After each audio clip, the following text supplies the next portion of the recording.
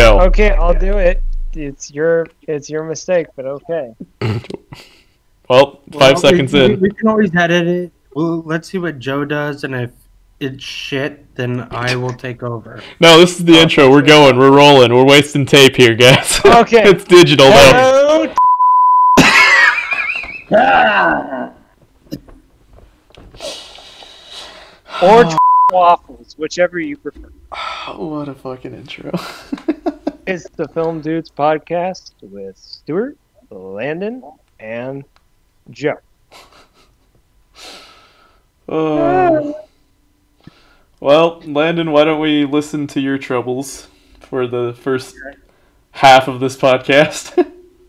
Okay, so uh, spring break was this week from my master's program. It wa- more like an extended weekend.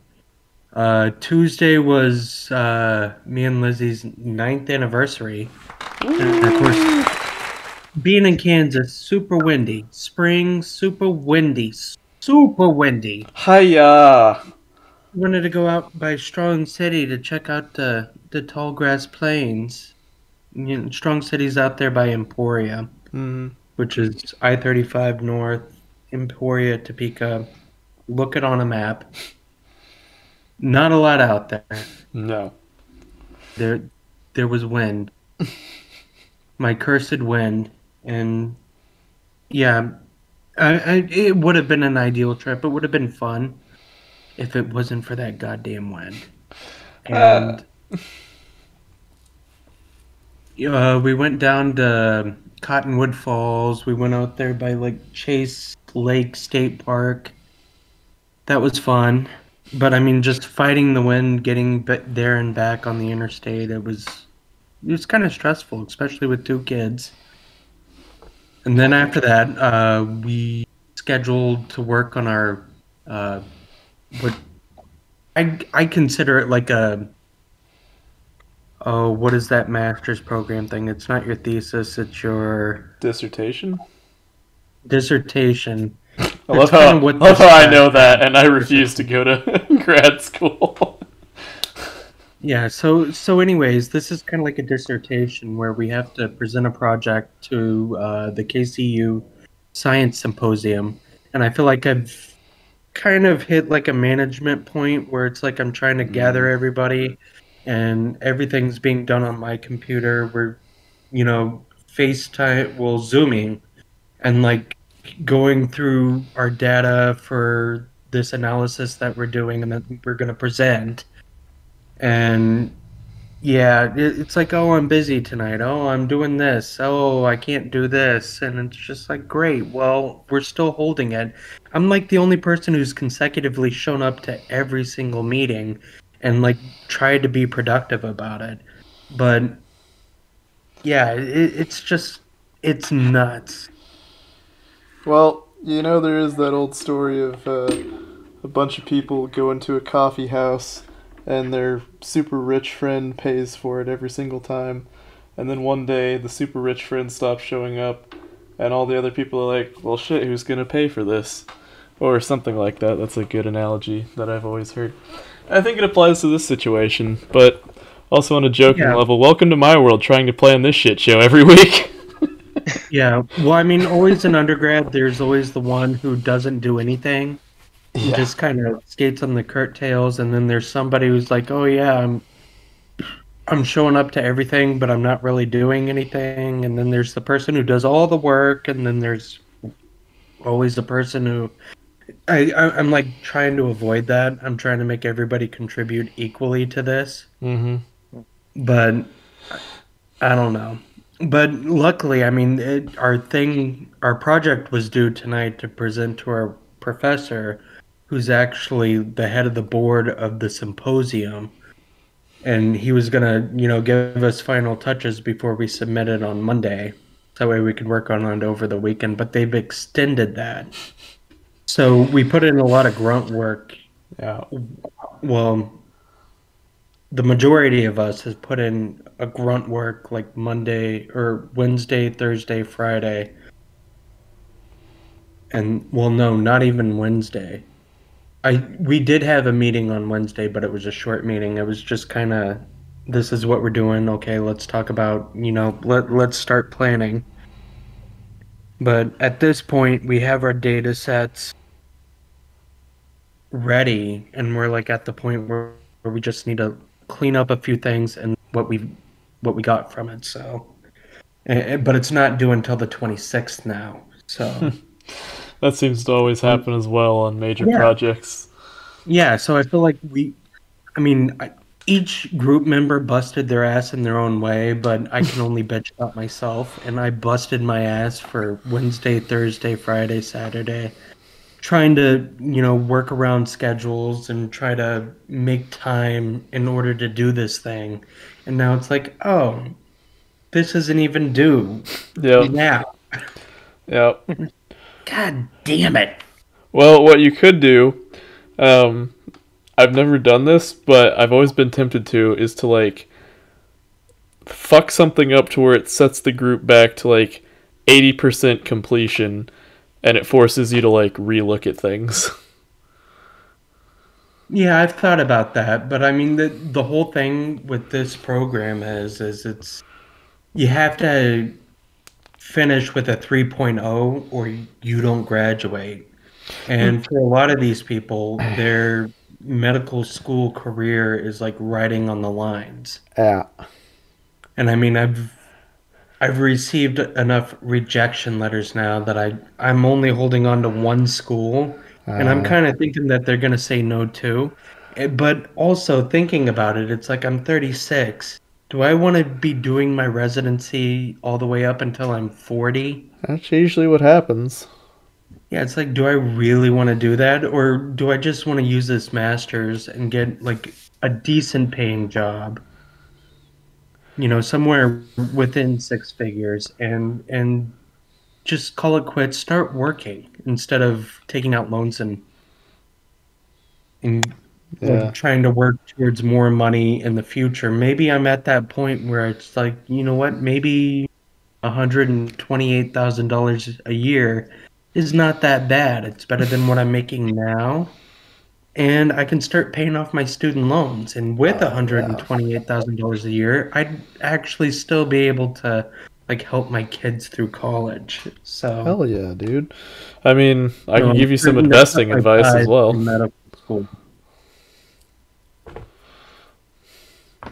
So yeah, that that's kind of where I'm sitting, and and now that I've vented, Everybody- let's talk about, let's talk about movies. Everybody needs a healthy rant every now and then. And uh, yeah, I, I very much would like to talk about movies because um, I think that uh, Roman J. Israel Esquire uh, is what you need in your life. It is the um, turkey bacon maple donut of movies. You don't know what the fuck it is until you actually see it and realize how big it is. And I assume it's amazing. Um, that's an analogy. If you've watched the film, you'll get it. Uh, okay, but if you, if you before you get into that, I want you to elaborate on how does the turkey fit into this maple bacon donut? I don't know, but that's in the movie. He's like, you know, there's a there's a food truck down by the beach that sells turkey bacon maple donuts, and people just buy them and sit under the trees and eat them. I'm gonna go have one someday, or something like that. And then yeah, it plays out, and uh, he has a fucking donut, and it's fucking huge. I mean, I, I I've had a lot of maple bacon donuts, but I'm really fascinated about this turkey bit, and well, it could be like turkey bacon, not like pork bacon. See what I'm saying? oh, so it's oh, that's disappointing. it had like little bits on it, so I, what the fuck did you just send, Joe? I, I don't know. You mentioned sandwiches, and that just made me think of last week. Uh, but yeah, um, yeah. Uh, Denzel Washington is Roman J. Israel Esquire. The Esquire is uh, not really explained. It was kind of funny because somebody asked him asked him what it means, and he's like, "It's like a little just above gentleman and just under knighthood." I thought that was a pretty good line, but um,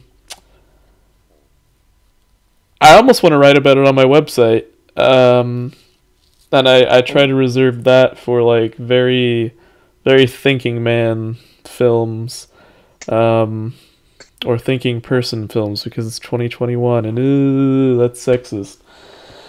Yeah, I'm kind of tired of hearing that because you hear that all throughout the film. um, but uh, it, it's funny because we have this podcast and we are three very white dudes. Well, Landon's got a nice tan depending on the time of year, but uh, the point is, um, I think everyone should watch this movie. Law students should watch this movie. Um, activists should watch this movie. Film students should watch this movie. And for film students, you should always watch the behind the scenes. I just committed a cardinal sin by uh, popping out the DVD and hitting record for this podcast. So I need to uh, Yeah, go maybe- back and uh, watch the uh, behind the scenes stuff for this. Um, but uh, that's that's like an unspoken rule, you know. You, you always got to go watch the uh, behind the scenes. I think so. Exactly, it's part of the movie. It's the package deal, you know. Um, but in terms of Denzel Washington's role, really great, great role. It's about Roman J. Israel Esquire. You see him all throughout the film. Um, the ending. Have either of you guys actually seen it? No. Okay. Came out in 2017, but I'm not actually going to spoil anything because it you could you could see it coming, but um it's interesting how they how they did choose to end it. Um it left me wanting more, that's for sure. Uh but I think it ended in the way that it should have. Um it could have ended with more, but it's sh- it's implying what it would have ended up showing. Um, maybe they did.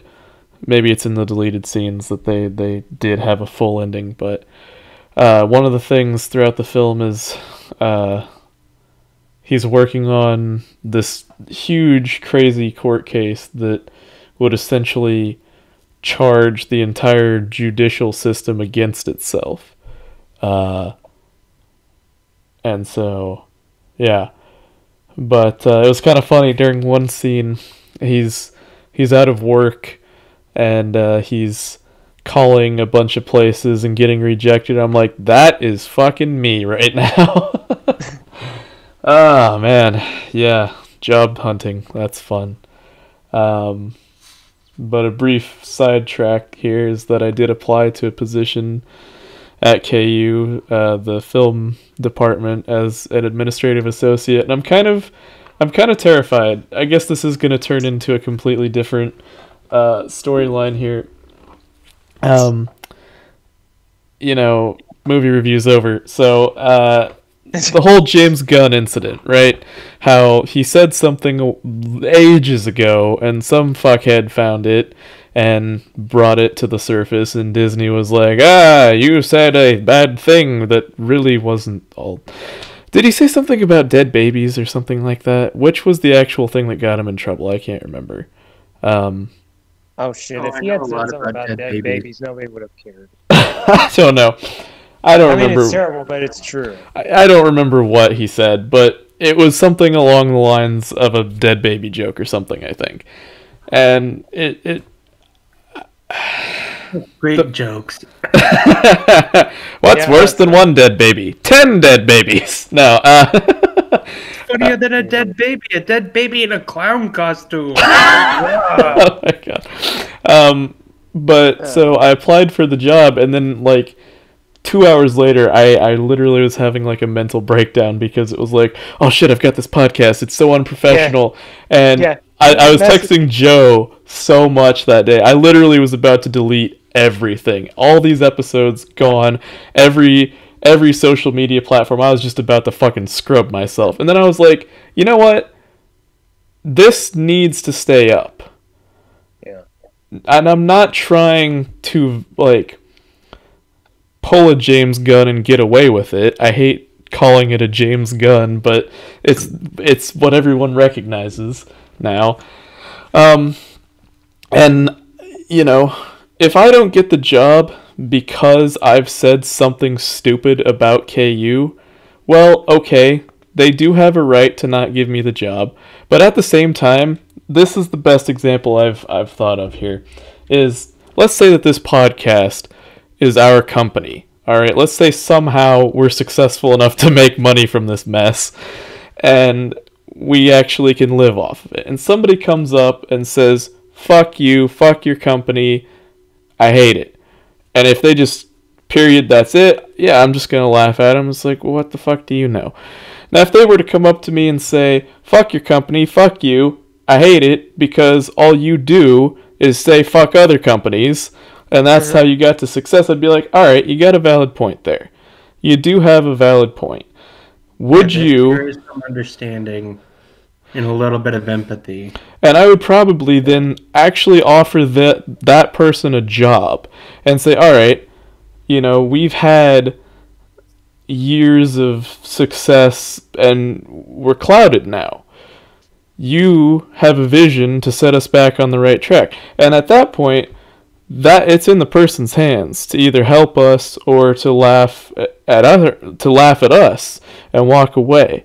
And it would be in everyone's best interest, I think, if that person accepted the job offer. Um, they would help us. They would prove their point by helping us, and yeah. So I'm not actively saying FKU. Certainly not the film department. Absolutely not. I want to make that perfectly clear.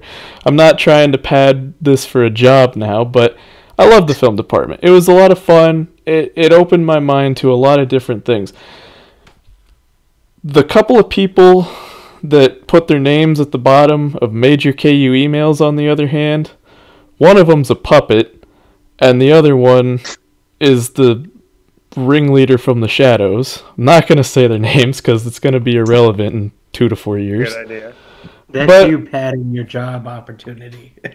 yeah, well, maybe. I don't know. I, I've just this this is just a big brain moment here, um, because y- you know, I think I am qualified for the job. I see things, and and the job is to work with the two people who I don't want to say their names, and I think I am the right person for the job because I see things that need to be changed. I see things that you know, as a student. I may not have paid much attention to my freshman year, but I sure as shit paid attention to it my final year. And so, yeah, Joe, you you definitely had an opinion of this when we talked about KU shutting down the um, humanities department, and maybe yeah, you don't need a direct department, but because everything's based off of the humanities. But at the same time, the poor bastards who earned a degree, who spent 20, 50, 70, hell, even a hundred thousand dollars for a fucking piece of paper that says, hey, this doesn't necessarily guarantee you a job, but it makes you look good, I guess. I don't fucking know. Um, what the fuck is it worth then when your whole department has just been dissolved? You know, people are out of work, maybe. Some people might have lost their jobs. And so, yeah, to a certain degree, KU, fix your shit because you're spending money on fucking buildings that shouldn't really have been built in the first place. You just need to take care of the other buildings. But yeah, anyway, that's my rant. Yeah, I I loved how you messaged me because it's like you're like I, I'm so I'm so worried that I'm gonna cost Joe and Landon their jobs. I'm like, dude, it's like you insulted one, maybe two people. I've insulted well, we did have the KU basketball team, the Chinese government, the British government, the IRA, Stanley Kubrick. Uh, I know there's quite a few more actually. Uh, Yeah, well, I don't think I've actually insulted anybody. Landon, you just don't talk, period, like 80% of the episodes. Yeah, I know. I don't want to insult anybody, and I'm also trying to be like be better and be PC. yeah. I mean, if I just ranted and raved like I wanted to, I'd sound like I'm like 90 years old living out in the out in the middle of nowhere. or you could be Ricky Gervais and just call everybody a bunch of right? Yeah, but but at the same time, I do see like you trying to make a good example and a good image of yourself. But at the same time, it's like you there's context there that they need to read into. That they need to- Exactly. It's That- like if you say I- something sucks, there's a viable reason of why you think that sucks, and it's either because of the fact that they did something wrong to you, or you know, maybe KU did not give you a proper enough education in order to like validate a certain opinion or something like that. I mean, I I can honestly say screw KU. It's a business. It's a sham. It, it's two letters at the end of my name, which are B and A instead of B and S. But I right now I'm working on my M and S, and guess what? It's still a business. Well, yeah, that's the joke. It's Stupid. bullshit, more shit piled higher and deeper, right? Exactly. and, and it doesn't matter if they cancel that department, you still have your accreditation because you got that when they were accredited. Exactly. So Oh, it's not hurting anybody if they close that department. I feel sorry for the people who are like in the middle of that degree. Yeah, that's but see that that too. I didn't even factor that in. You KU, that's a big fuck you. You're failing your students. You are doing, you know, horrible things with your student body because some people were relying on that degree. And now they have to find something else. And maybe they're not going to thrive as much as they were in the humanities department. I hope you're willing to compensate them for that. Yeah, for sure. I, I hadn't even factored that in, but not just KU here. that's the valid argument is is you know not the people who've already graduated guess what they got the initials they got the degree it was accredited it counts they're Yeah. fine the Yeah. people who are like almost done with it what are they Yeah. doing about that are they letting them finish their degree are they just not accepting new students how are they fixing that what is the issue with that and i don't know the answer but I hope that they're treating their students correct. Otherwise, a big fu to KU. Well, yeah, Well- and so it, it is different. Sorry, Joe, I am going to talk over you here because I, I do have something to say. And I feel like that's what Joe and I, we talked about this. I don't say things unless I have something to say. That's just how I was raised. Occasionally, I say things in a really stupid way, but I still make a point. And so it's not just KU I have a problem with. It's like most American universities because it it extends to this fucking ridiculous weird thing of like let's prioritize sports over actually fucking learning, which is what the entire point of going to college is. Well, that's based off of capitalism. We live in a capitalist society. I know. And then it, it gets into like the players aren't being paid and whatever. I don't give a fuck about the players. When I work at my job and a player comes in, I seriously want to say we don't accept your cards, the like KU uh like athlete um credit card things. I seriously want to say that because it's like fuck your money. Like yeah, pay your players, but also like sports are just I, it's funny. I had a conversation with my dad, and now we're now we're a film podcast again because I was like, "What the fuck is the point of sports?" And he's like, "Entertainment for the masses." And I was like, "That's thank you, Dad, for actually saying that because uh, it it made me realize, well, what the fuck is the point of film? You know, it it was that's what we're taught in film school is it was the lowest of low art when it first started. It wasn't even considered art. Yeah, that's true. It was just fucking was what what is like this? Which is funny because they say a picture is worth a thousand words. What is film if not a thousand pictures stitched together really fast? Wow. So you know what they say. Now, Film is- sports is the same thing as film. It's entertainment for the masses. But Yeah. there are still true artists out there that, you know, they, they don't make a movie to please everybody. Not everybody's out there looking for their big blockbuster hit that's going to get them world fame and dominance and yeah, well, two point one billion dollars. It's Well, I Some guess of them are still doing it just for the art. Mm. Yeah, and and here's coming back to Roman J. Israel Esquire. Let me just look it up and um, see how what box office budget, all that stuff was. Budget 22 million, box office 13 million. They lost money. So there you go. But see that's the thing. I think more people need to see is, this film. It's not about making like- money. I feel like that there's insurance somewhere in Hollywood where it's like, oh, if you lose money, you can still break even if you pay this amount. Mhm. Yeah. Like, we're willing to pay you the difference. That way you break even. I don't think that like losing money is a big thing anymore. Probably not. And you know, I, I don't really give a shit about box office numbers because where does that money actually go? Like it doesn't really go back to the people who actually like work their ass off. It mostly goes either to the director or the studio.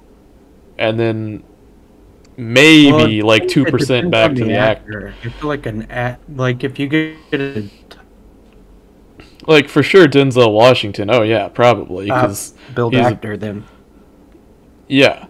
I wonder what Ed Harris makes on movies. Oh, yeah. But um It's not going towards new hair.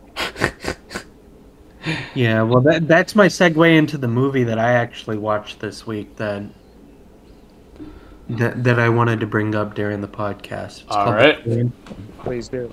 what's it called? Phantom. Ah. So it's about a, a USSR boat, and I think it's like 1968 that goes out, and they're trying new technology, and they figure out like how to scramble sonar, and they have like a nuclear warhead that they're gonna fire into the United States uh, because of the. It's not the Gestapo. Uh, what's the Russian version? The KGB. Uh, okay. Yeah, so so the KGB orders the military to do this, and they have enough clout that they can like get it out there. But Ed Harris plays the captain of this USSR boat, and of course he, it was supposed to be his last mission, and he's retiring. But then uh, Lance Henriksen, uh, who's his commanding officer, sends him back out there. Uh, his uh, second mate is uh, William Fitch, Fitchner, Fichtner. Yeah, one of the two. Yeah, and then there's um, Jason Beige, Big, Beige. I'm horrible with this pronunciation at this Oh point. yeah. Yeah, big big name people in this. Uh, David Duchovny is the guy from the KGB that you know is riding along to test this new equipment, and they end up.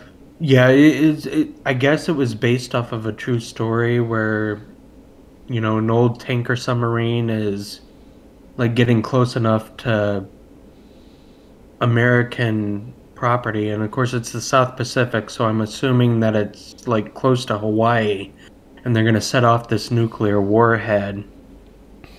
But uh, yeah, pretty much Ed Harris intervenes. He was uh, uh, mutinied for for a little bit because the the the crew wanted the KGB to think that you know that they were on board with whatever. While they try to undermine them and and then they like end up like disrupting the the nuclear warhead that fired. So that way it just kind of fell apart in the sky and fell into the ocean and didn't go off. Sounds But pretty it- good. Yeah but but i have to say ed harris's performance was great. I mean he he was like a captain who had epilepsy due to a um a head injury but at the same time like he there was like certain points where it's like oh this Ruski's getting emotional. And i've never seen a, a, a russian person ever get like emotional about anything i mean i've seen them give like a little smirk but but I mean, he was like in tears, and and you know, he he gave like a performance of a lifetime during that movie, and I just wanted to bring that up and recommend that to our listener that Yeah. uh, that yeah, it. maybe you should check that out. Uh, which one is it was called? actually a lot of fun. I I think I saw a preview for it. Again, it came out in like 2013. I think I was like, "Oh, that looks interesting," and then I completely forgot about it. Mm-hmm. Yeah, What's it called? Phantom. And it has to do with the software where they they called it like the Phantom, where because what it would happen is is that they had this spinning speaker thing project a sound of a different type of boat, like a fishing boat or a Oh yeah, you yeah, know, yeah, yeah. Um, isn't that why they're called like phantom blips or something like that? yeah. Yeah. Now, now I remember the story of that. Yeah. Yeah. yeah i mean i feel like like the over entire story was kind of like ooh it, well it was like you know just trying to be a blockbuster but i'd have to say ed harris gave like a super performance. And and, and for that alone i would recommend watching it. David Duchovny was pretty good too but uh, not not like ed harris. Oh yeah, that that was the funny thing is I saw that uh, Colin Farrell was in um, Roman J Israel, and that that was weird because I was like he looks really familiar, and then at the end of it with Colin Farrell. And it was just like, oh wait, he was in In Bruges. Oh god, this is really weird to see him in a very How- how serious you role. Forget those eyebrows. Yeah, well, it's because he had like the slicked back hair in this one, and he just was kind of always a perpetual mess in in Bruges. Point Well, what was the movie that he played in where he was Jesse James? American Outlaws. Oh shit. Yeah, That was. Oh my gosh. Um, that was a fun movie. it's fun. I'm. I'm not There's gonna say not a it lot of thought fun. that goes into that movie. It's not a big thinker, but you can just sit down and then just enjoy the mise en scène. Yeah. Uh, yeah, Fucking it's mise fun. I'm not gonna say it wasn't fun because it's fun. like, uh, I don't know when that one younger brother he's pissed off because he's got like the dinky wanted poster or whatever. So Yeah. he goes to the bank all pissed off. you know that stuff's fun. yeah, Um, Yeah, it- Colin Farrell also seemed to have a lot of fun in Fright Night, where he played a vampire. Yeah, but I heard that was not as good as the original, and the original is actually pretty good. Surprisingly. I I've never seen the original, but Um, Yeah, I don't know. At that point, Colin Farrell was in his peak. I'm, I mean, I'm not gay, but I'm just like, yeah, that's an attractive guy. People are comparing me to that guy. okay, then please explain what's attractive about those eyebrows. I really want to know. it's all that bush, right? They're, they're so heavy you can't see him raise them. I guess. they carry the weight of the real film. yeah, Uh, he, I mean, that, that's his poker face. Is that he can't? You you see his his, his the muscles in his forehead, you know, bend up and crinkle, but the eyebrows do not move. I don't know. I think the first Colin Farrell movie I saw was Alexander, so Oh, And- lad. yeah, I was pretty young when that came out. Yeah. and you're just you know my folks were like oh this is supposed to be a good movie but it's like holy shit the only thing you get take away from that movie is alexander the great was gay Yeah, I remember that. I was 16 when like Outlaws came out, and that was the first movie that I saw Colin Farrell in. oh yeah I mean, But then he did Alexander, and he did. He he, he was a big guy. yeah, I I Yeah. think he's still quite. Um, I think his Uh, popularity runs with like my crowd, as far as age. I'm not sure where it runs. Um, but I mean, if you were to say, "Well, Colin Farrell's going to be a movie," people are going to be like, "Okay, we'll pay to see it." Did you see Lobster? No, I did not. I I'm still Case in point, was trying to read the he was synopsis. in it. You didn't see it. Well, let's go basis. Let's go movie by movie basis. Let's put it that way. Um, oh, before I forget, so we'll segue from American Outlaws to the bit of the news I sent earlier, Oh, where Emilio excited. Estevez was teasing Hmm. about Young Guns Three. I don't know. I don't want to see it, but I want to see it. I know, right? I know, Landon. You actually reacted to something for once, and I was like, "Wow, that's that's Landon reacting to just random shit that we're posting here," and it was like that. That feels like it's important. It is important. Very important. I mean, uh, Young Guns was a big part of my childhood. Oh yeah. Yeah, I mean, I remember my parents had the album of uh, the Young Guns 2 soundtrack, and I Oh, used shit. to like dress up in my jeans. I was like three or four years old, and I put on my little cap guns and my cowboy hat, and I just like bow leg walk, you know, oh my god! through the living room, and I'd like pull out my guns and just shoot at the wall and. Little baby Landon, I need to see a picture of this. There is no picture. There's no Oh. evidence. He probably burned them all. No, my parents weren't that really interested in me. I mean, it was the 80s. They were probably like a little weirdo. Yeah, they probably peeked around the corner and went, huh, and then went back to whatever they were doing. Your dad was reading the newspaper. Darling, please go into the kitchen and make me a sandwich. Uh, I don't think you know my parents. I don't know why his dad sounds like that, but okay. Oh yes. I mean- also, let's give a shout out to what Landon, your friend that you like for some whatever reason convinced him to listen to this. Oh, David. David Choi. Chicago. Mm. Hi, David. Hope you enjoy this mess. Hello, David. Hello. Yeah, I- I'm, I'm pretty sure he's too busy with other things to do this. Probably. He's actually gotten into the furniture making business. Ah. And, and Okay. I've seen some of his models that he's done. Uh, it, it's really solid. I'd Uh, hope so, because I want to fucking sit down in a chair. Yeah, well, I mean, it, it, it, it's like modern furniture that that is like really cool looking. I mean, it, it, it's it's like that shit that costs like ten thousand dollars to buy Mhm. retail. It's Um, what would happen if IKEA put effort into their product.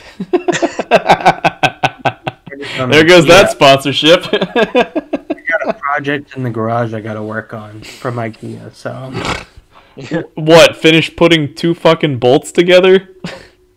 Aren't they No, known for like efficient? screws. I've never actually assembled anything from IKEA. Aren't they known for efficiency though? Yeah, but you a lot of times you got to buy the screws. Oh, well, that's fucking stupid. Yeah, they they they forgo the hardware because that's cheap. What's the name of this one? Because they're known for keeping their Swedish names even in like English-speaking countries. Just I don't know. I wasn't there. I was uh, busy working on my aforementioned project. It's called the. The kids to IKEA, Did they have the Swedish meatballs? and then I took a few minutes to unload it from the car. I didn't look at the cardboard box. I just carried it and laid it down, and it's sitting in my garage. It's it's the the not to touch- Lampenstunden. Not to do anything because she needs to order something else to go with it. So Um, It's all like the same shade of balsa wood, right? Nothing's like painted or anything. No, they have painted stuff. Oh wow, they they put some effort into their product now. No, IKEA actually has like a wide variety. They they do like leather couches. They do oh fabric couches. They do bookshelves. They do TV mounts. It's a leather couch. They provide you the frame, and then they say, "Okay, here's a local farm near you. Go buy a cow. Wait like oh, three Oh. years until it's matured. Harvest oh yeah, the leather." that's how it works. that's how it works, Stuart. Okay, go on, Farmer Stuart. Tell us how it works. I don't know. Just go stick your hand up a cow's ass, Joe. Tell me No, if it's pregnant. The way that it works is a lot of times they forego some of the hardware, but also, like, it's it's pretty inexpensive, so you don't expect it to last. Well, but that's the point of furniture. You do want it to last, though, right? No, you don't. Depends. No, when, when you're married for nine years, something else ha- has got to be non-committal. Some people, it, it's furniture. Other people, it, it's food. Other people, it's Kids. Oh, I'm a wine person now. I'm a beer person now. I'm a whiskey person now. No, in in order to commit to a marriage, you just kind of have to not commit to something else. yeah. I don't know. I'm, Landon's little nugget of wisdom. I'm I'm finding Think about it. myself thinking about the future a little bit more, and I'm just like, Oh boy. Kids are still way off the table for me. But it's like eh, I don't know. I I could if I could find the right person, I guess, but probably not gonna be in Kansas because Ron White potato joke. Insert that I was here. gonna say I've never seen a redheaded potato before. then again, I've never Well, there been are there- there are a lot of cute people in Kansas. I will say that, but Yeah, but they're cute, but their Back- back when I personalities are usually 21 and I would have punked the wall. Yeah. I don't know. I I, guess I'm just like really, really picky about people. Well, was talking about last week with my folks because they came down and really lovely weather, and we were talking, and I mentioned how my aunt had said that you know she had us, me, my little brother, and a cousin. We were the only ones who weren't with somebody or married yet, and she was telling me that we all three of us should get on it. And my mom's like, well, you know, just take your time, find the right person. I'm like, oh, I found the right person. I've got, you know, two, maybe four people picked out. I just got to let them know. yeah. Uh, And see, that's that's the other thing about our culture here is this. this is just like a you know- real deep dive of an episode, but it's just like the men are still kind of like awkwardly expected to do a lot of things. I feel like. Don't do it. Well, then you just don't get anywhere, right? And I'm not. I'm not actually trying to make a sexist no, joke. If you don't get anywhere, then that's not the person for you. I mean, what are you, like Yeah. 22, 23? Yeah, I'm 22. Yeah, I didn't get married until I was 27, and I still think I was too young. Yeah, probably. My dad had his first daughter his like second to last year in college. So, Yeah. How'd that work Wow. out? Uh, well, she now is I- a I'm doctor saying and how that uh, out in a bad way. I'm just, I, I'm honestly asking, how did that work out for him? well, let's see. He got a divorce and then remarried the same person, so that ought to tell you everything. Well, there you go.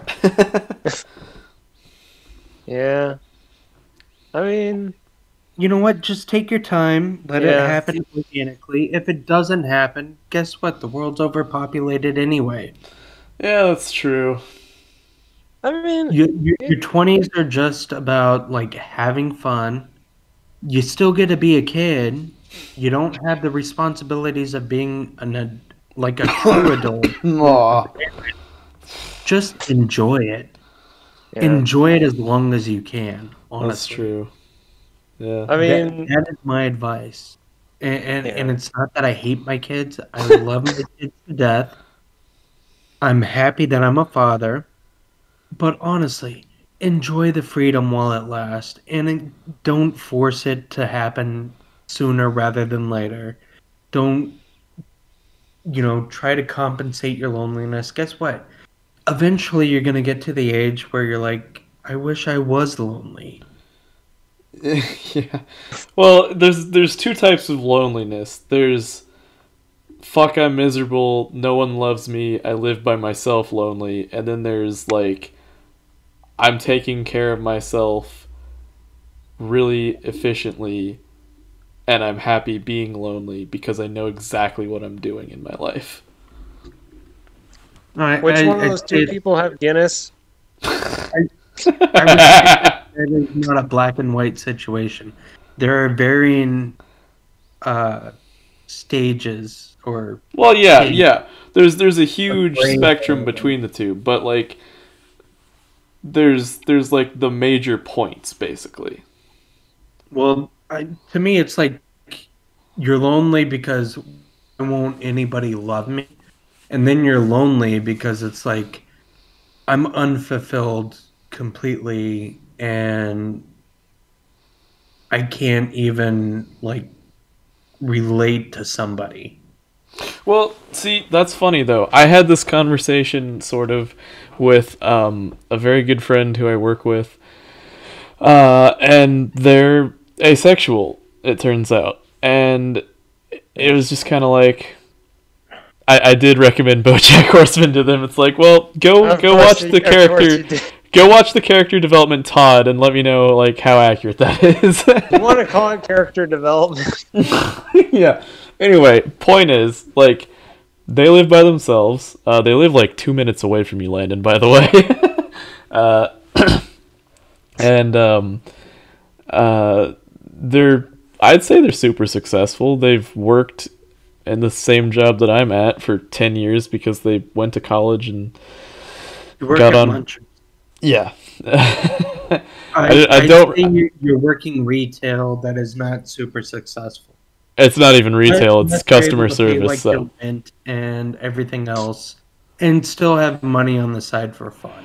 Uh, yeah, let me tell you how much fun he has. He's turned his house into like a fucking workshop. He's got two 3D printers, a whole bunch of like woodworking tools. I think he can do a bit of metalworking too. So yeah, it's like this dude can't even park his car in his own garage because he's having so much fun. I'd say Um, that's a problem because if he can't afford to have room in his garage for his cars, then he has a small garage. Therefore, he's not successful. But I don't know. That don't know. that's me. I guess it just Uh, depends on how much you value a car, really. Well, I value my car very dearly. Which one? the one that Uh, sits outside most of the time, or the one that you put in a fucking garage? The Ranchero. I was gonna say it's the Ranchero. yeah. Um, okay, so I'm gonna make a. Lizzie still thinks it's a piece of shit, but I love it. You should. All, okay, Discord really fucked that up. You might want to say that again, Landon, because all I heard was Lizzie piece of shit. Okay. I said Lizzie thinks it's a piece of shit, but it's mine, and I love it. And Okay. that's who's getting that in the divorce.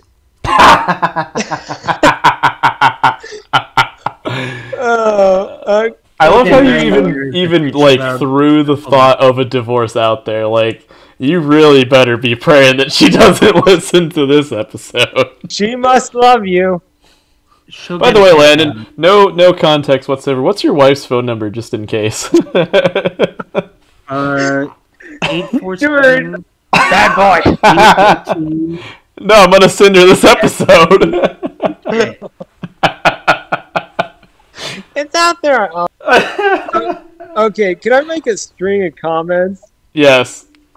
Okay, first of all, for those people, you guys were expecting me to make comments about KU basketball. Well, their game was canceled tonight. Fucking what? A player tested positive for of COVID. course. so Whose Fuck. team?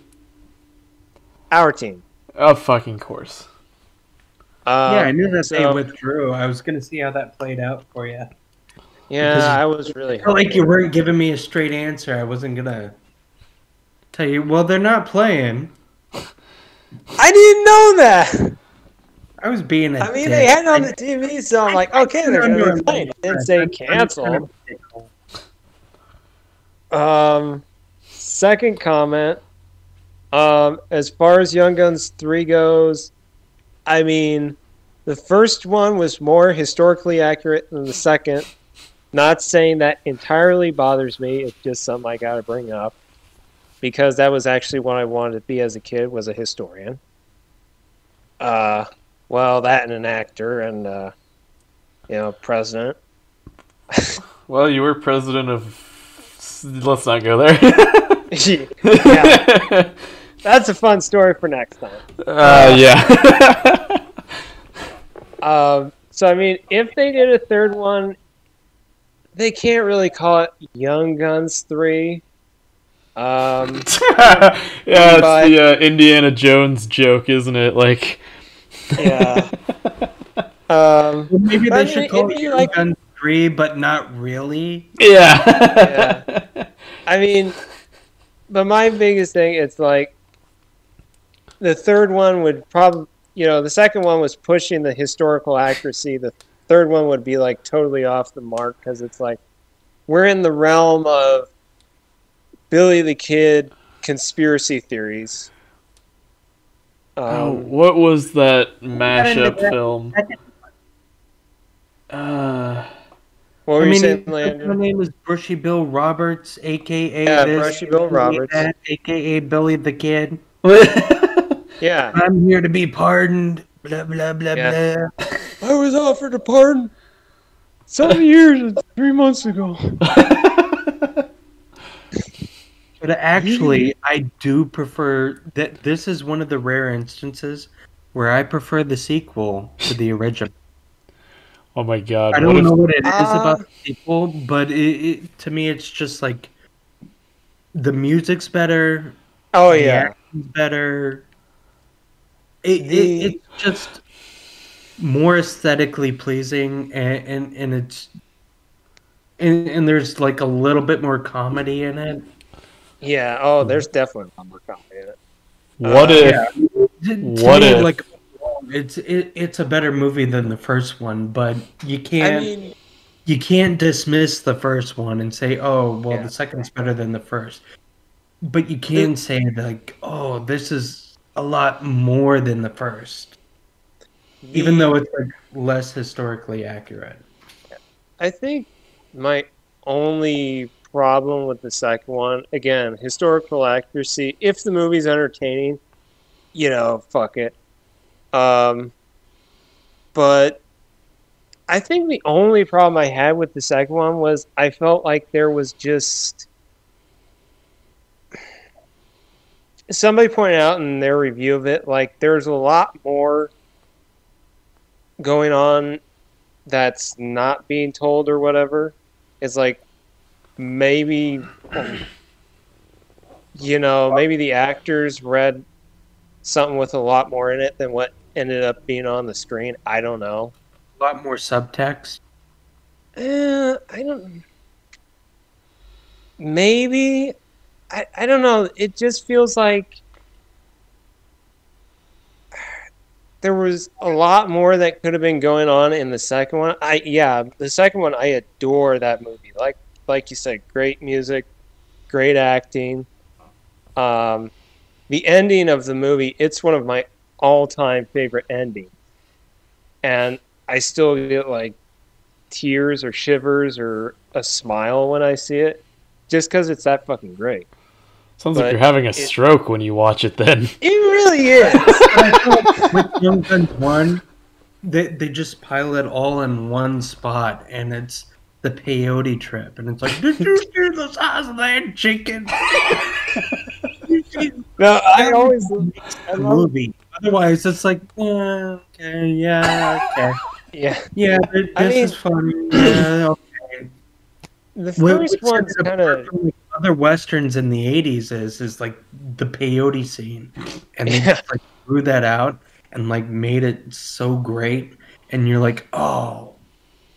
And then when Young Guns 2 came out, they just I I, I feel like that they put more of like that peyote feeling. They let throughout- you experience the peyote instead of you observe someone else experiencing the peyote. uh, Yeah, but I, I, not really. But yeah, kind of. I mean, it, it, was like the same feeling. I don't know. When when I experienced Young Guns, I was so tiny. I associate it with smells and sounds no, yeah. Yeah. and like you know visuals of certain things. It, it just takes me back to a place. Oh, what the? F- mm-hmm. hold on, hold on. Let me, let, what the fuck did you? I associated with smells and sounds, and so you were a human being. Always Yeah. have, always will be. But Yeah, But there, but there's some movies where it's like, oh, it's just a movie, and then there's some that's like, oh, this is a movie. well, that's that's why I always talk about the difference between a popcorn movie, a movie, and film. Well, I would I- say I that this know. is a movie slash film. Both Yeah. of them, but for different reasons. One of them's more like a film slash movie, and then the other one's movie slash film. yeah, yeah, that's They understandable. alternate. But I'm wondering how the how the hell are they gonna do the third one? Well, there, I hope Rush Bill Roberts was not the only person to old guy who claimed to be Billy the Kid. There were like maybe one or two others. And you know, people were always saying like, "Oh, Billy the Kid, no, he's I saw him up in like uh, California or whatever." And uh, you know, it you know, there were people who poked holes in Garrett's story Yeah. um, like instead of Garrett running out and saying I killed the kid, people were like, no, he said I think I killed the kid, or this or that, you know. So, um, so I mean, they could have a lot of fun with that, and you know, I love Emilio Estevez, and I'd really like to see him do more stuff. But hello. Hi, what's up? Did I cut out? Nope. Okay, good. I'm just Why scrolling on Twitter while I wait for you guys to stop talking about a movie I have yet to see. Okay, well, anyways, uh, moving on my third point. Uh, just because I want to make it clear, whenever I criticize somebody, I don't hate them. I just point stuff out in people, and I point stuff out myself. I still love people, obviously, and that's not the Guinness talking. Uh, and uh, I also thought it was funny when we were talking to you, like, I don't care about box office. It made me laugh because when I said that I love Francis Ford Coppola, I'm you said, "Well, I don't, I don't really think he's a good director," and I said, "Why?" And you're like, "Cause he's really terrible with money." uh, yeah, that is funny.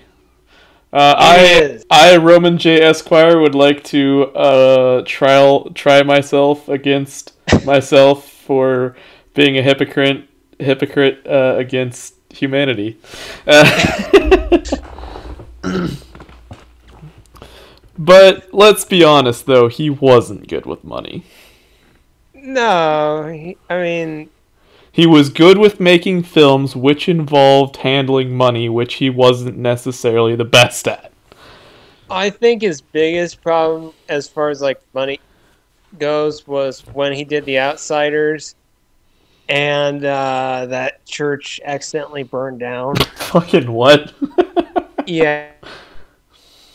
So I think a lot of what he was doing after The Outsiders was trying to pay back on that film. Um, yeah, I don't know what the box office was on Apocalypse Now, but I know they spent what three years in the Philippines making that movie, and I know that Brando requested to be paid like a million dollars a day, Jesus.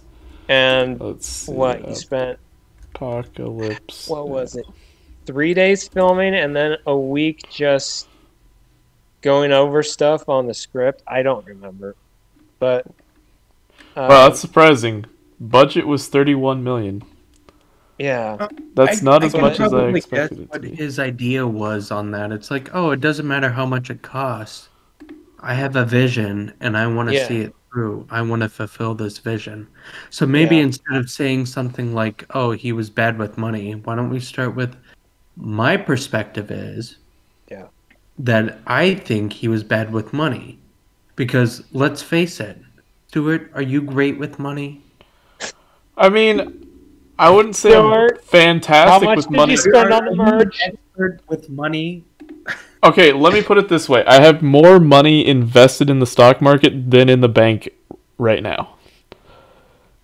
okay well okay, so that put- doesn't say I'm a genius with money, but it at least says I know what money is good for. Mm. Okay, Well, I'm not. another I'm not going to question. dwell on this too much because Coppola actually is Please good with money. It just hasn't always panned out the way he wants. Because, for instance, Bram Stoker's Dracula, which I have to say is one of my all-time favorite films. It's good, but the hair. I don't. Yeah, don't. but I'm not touching that. I am not touching the hair. Um, It's, it's a beautifully shot film. yes. It terrified me as a kid the first time I saw it. Oh yeah. But I mean- it, it was so wonderful that I actually went back and watched it when I was older, and I absolutely loved it. Yeah, but yeah, I love it. I I have a special collector's edition which uh has I guess you could call it commentary, but it's like watch Bram Stoker's Dracula with Francis Ford Coppola and it it's something I listened to whenever I feel like it because the stuff that he says is just so terrific and one of the things I learned was that one of the things he wanted to do was this kind of stuff that was a callback to because one of the things I didn't think about until I saw the movie was Dracula takes place the same year cinema was born. and Wow. Yeah. yeah, What the fuck? And- that is weird. yeah, I didn't think about it because, but he wanted to do stuff like you know Georges Méliès and the Lumiere brothers, and he wanted to do it without the, you know, all the technology that people were using, and a bunch of people were like, "Oh, there's no way you can do that." So he brought on his own son, who's like, "Yeah, we can do it like that." and then Coppola had the budget pulled out from under him by the studio. So there's the particular sequence where he had to use it's it's that battle sequence in the beginning between the Dracula's army and the Turks, and Oh, puppets yeah. were used. I kid you, not. just just the stuff that he did, just like this. This guy is a at, at the end of the day, I don't care about the money because obvious, because really, what matters is what you get on the camera. yeah. Well, my philosophy with money is, what's I mean, the point? I'm not advocating waste money that could be spent, you know, feeding orphans and Yeah, no, for sure. But in general, what's the point of making money if you're not going to spend it? Uh, well, Mr. Stockbroker, uh, you invest it. Yeah, but that's still technically spending it because it could just fucking disappear at any minute. No, it, it's gambling, I guess. It is basically it's legalized gambling. Not Oh it, wow! Welcome to our movie.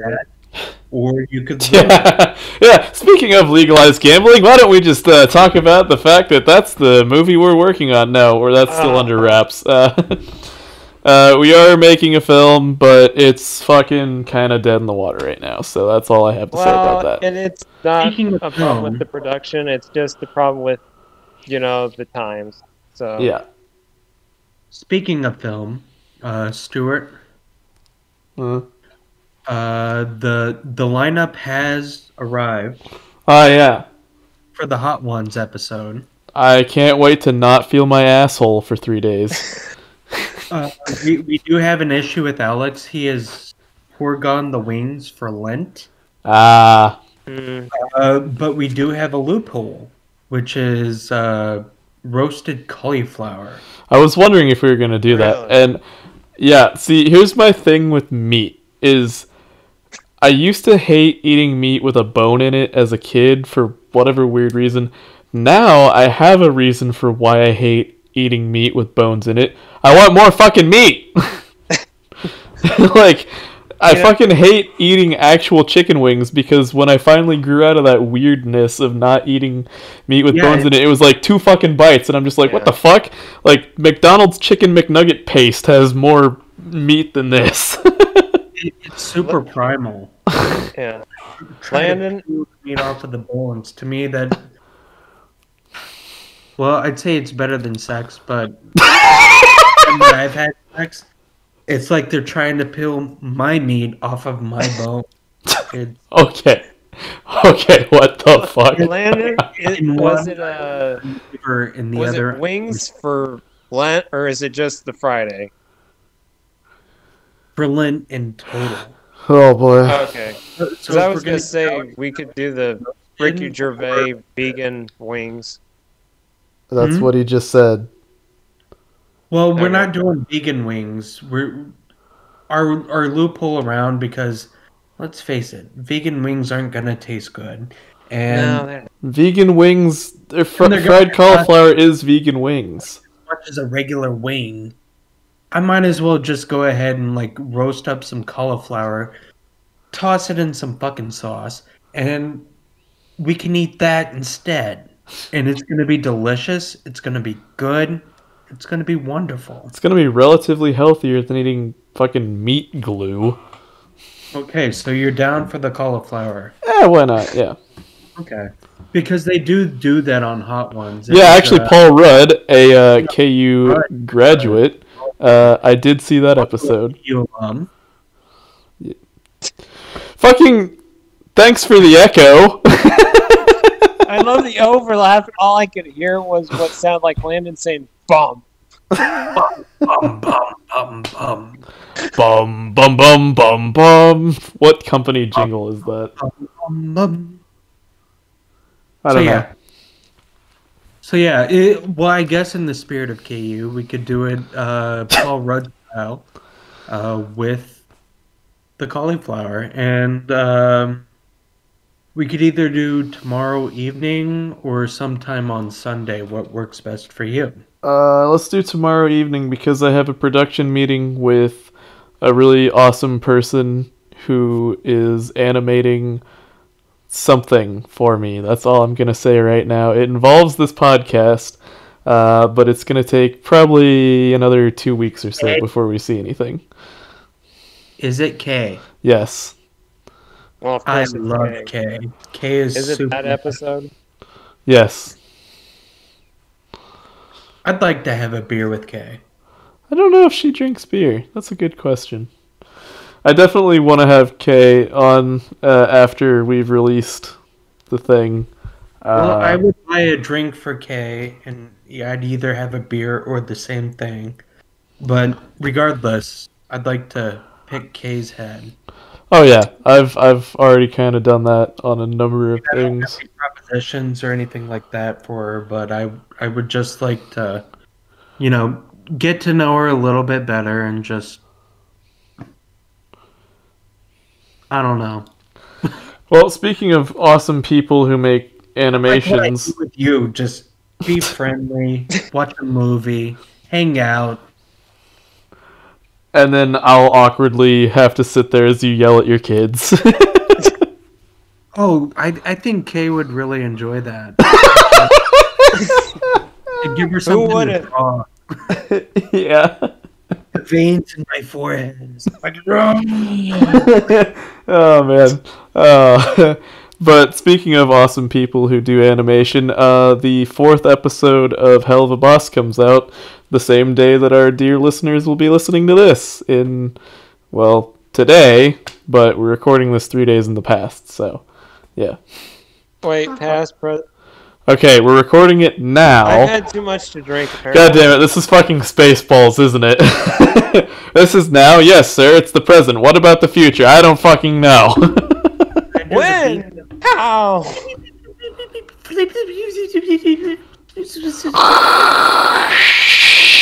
Shit. I love that part. okay, well, tell Kay hi from me.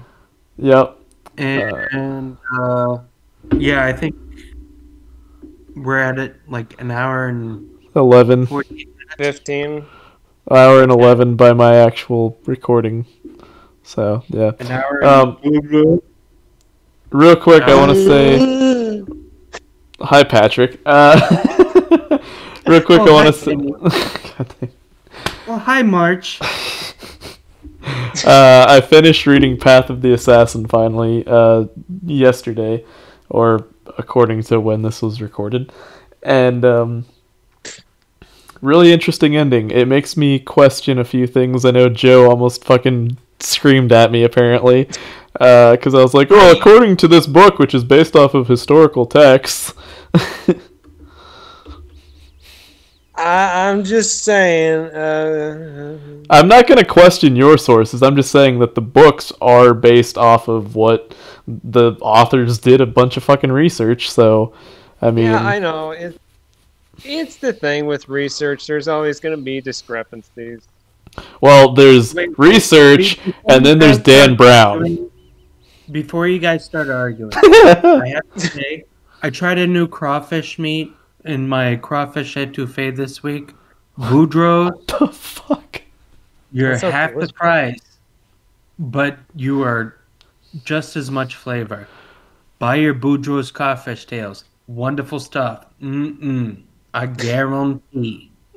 Thanks for the fucking sponsorship, I guess. Okay, keep going. I'm That sounds walking away. delicious. This sounds like a cat fight that I don't want to get into. no, I'm not. I'm not trying to start shit. I'm just saying that, like, look, one guy did research, another guy did his research. Why? Why do we have to believe the textbooks that we're told to read? Why can't Path of the Assassin be seen as a textbook? Really? There's a question for you. I, I'm not arguing. I'm not arguing. I'm just glad he pointed out there's people who do research and then there's Dan Brown. yeah. I'm glad you pointed that out. I know how much you hate him. I don't hate, like I said, I don't hate. You're anybody. very Just- disappointed get with him. Pissed off by what people do at them. It's like I'm not mad. I promise you, I'm not mad. But you're a fucking idiot. You kiss that diaper rash. You Boudreaux's butt paste. what the Thank fuck? you, Boudreaux. I guarantee. Okay, now you're turning crawfish into an ass wipe or something. What? No, no, they're two separate companies. There's uh, Boudreaux's butt paste, which is actually like a a, a diaper rash cream. what the fuck? It, it, trust me, it does wonders. I used to use is it that back like ass bleach? No, you use it on babies, you dumbass. They, Have they- you seen some people? aren't They're brown like- enough yet. Joe, whose ass are you fucking looking at? Okay, let, let me lay this out for you chronologically.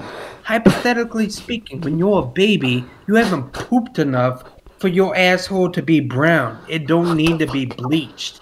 So what you use when you got your diaper rash from wearing a diaper, you use Boudreaux's butt paste. What the fuck? Now, once you start to get into high school and your hormones change, you pooped enough that your asshole is brown. Maybe you want to think about it, but maybe you ain't having sex yet. Don't worry about it. Don't get your asshole bleached. By the time that you're doing doggy style, get your asshole bleached. Or you're just a dude. But- When you eat crawfish etouffee, I'm telling you, for the price, you get the same quality with Boudreaux's crawfish tails. Mm-mm, I guarantee. Well, we started out with a really serious note, and thank you, Landon, for turning this around. Do my best. I think I pissed myself. Yeah, I, I turned from Boudreaux's butt paste to butt bleaching to Boudreaux's crawfish Don't tails. forget the doggy style you just threw in there. Well, that's when you need to get your butthole bleached. Somebody's got to look down and see that. Mm, you don't want to be embarrassed. You don't want to see people seeing your poopy frown. what the? Mm-mm. Bleach it.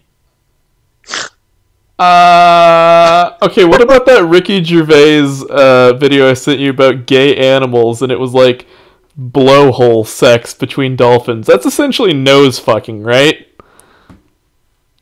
Uh, And on that note, good night. Not, not necessarily. where are you No, going, think bitch?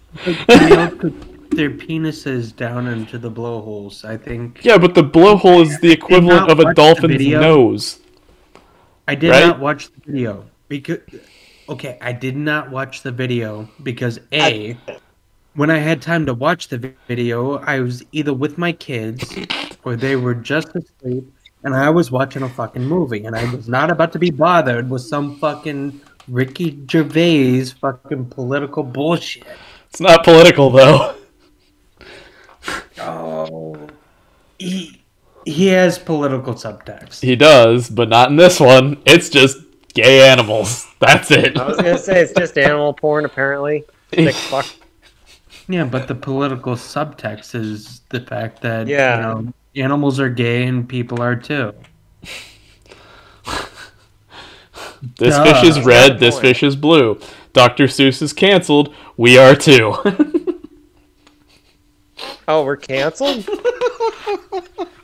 so I can say all I want now. You waffles.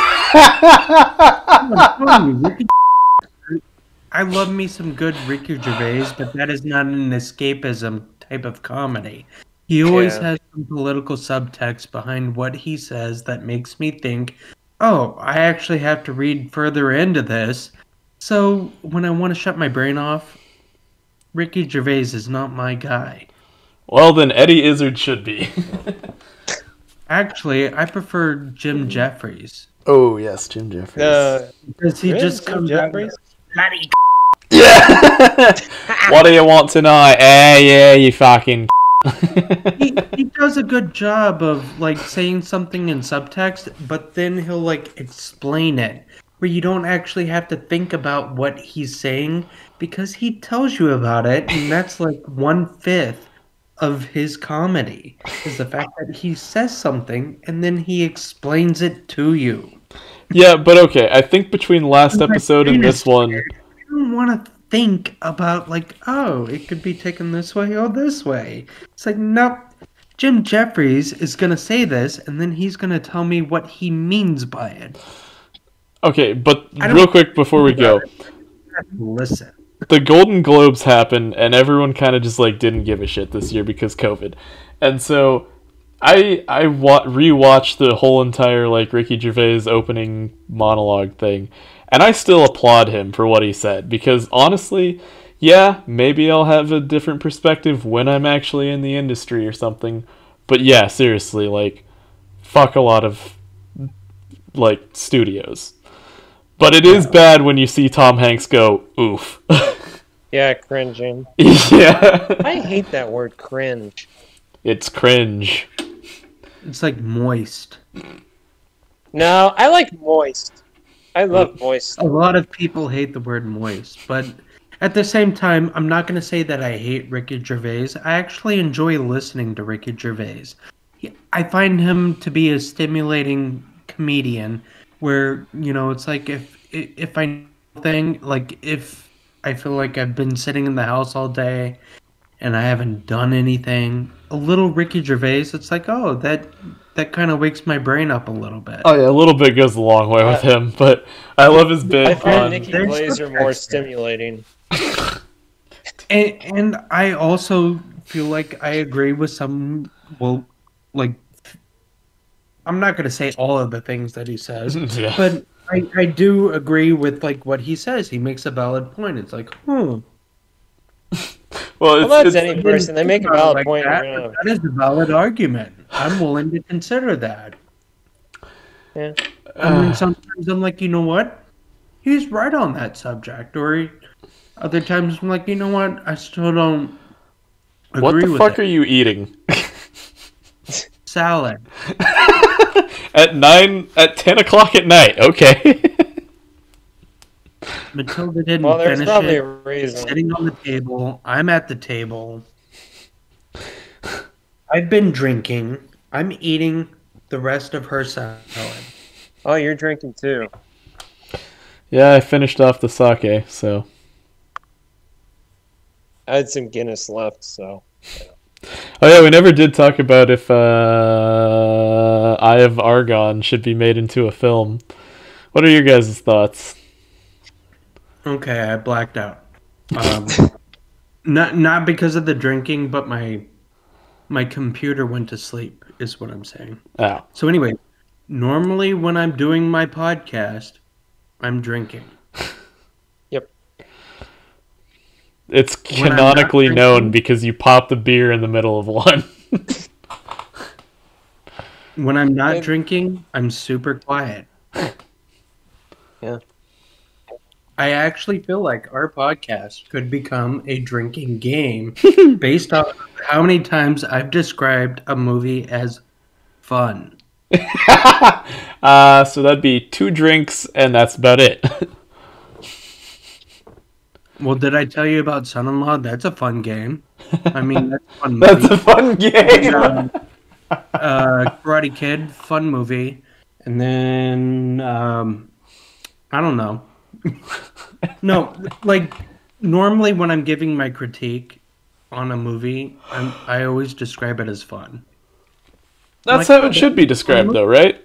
Like, what's the point of watching it if you're not entertained? Are you not entertained? Yeah, but I always use the word fun. Yeah, but I mean, you're having fun watching it, right? So that's basically the most correct adjective you could use. Yeah. But I think that there could be a drinking game. Maybe we can turn one of our episodes into me just like reviewing like a stack of movies and describing fun or not fun. it's it's gonna be the Darth Vader Eddie Izzard thing. This one is fun, and this one is fun, and this one is fun, and this one is fun. Did you dry these in a fun forest? It's like Uh, the SNL skit with the yay and the nay. Oh yeah. Uh, So anyway, I have Argon. Do you think it should be a movie, Landon? No. I I will. Do you remember that say- one movie that I described in that one podcast about like the director who was infatuated with the lady and like just Oh, yeah. see her Uh, what was it? semi-nude? The one I with feel like David it would be Carradine, like right? that. Yeah, it had David Carradine. Maybe I can pull it up really quick. David Carradine. Oh, that's sad. what? Yeah. Uh, when I pu- pu- when I put into Google David, it just comes up as david.ncifcrf.gov. Because I've been doing so much research on.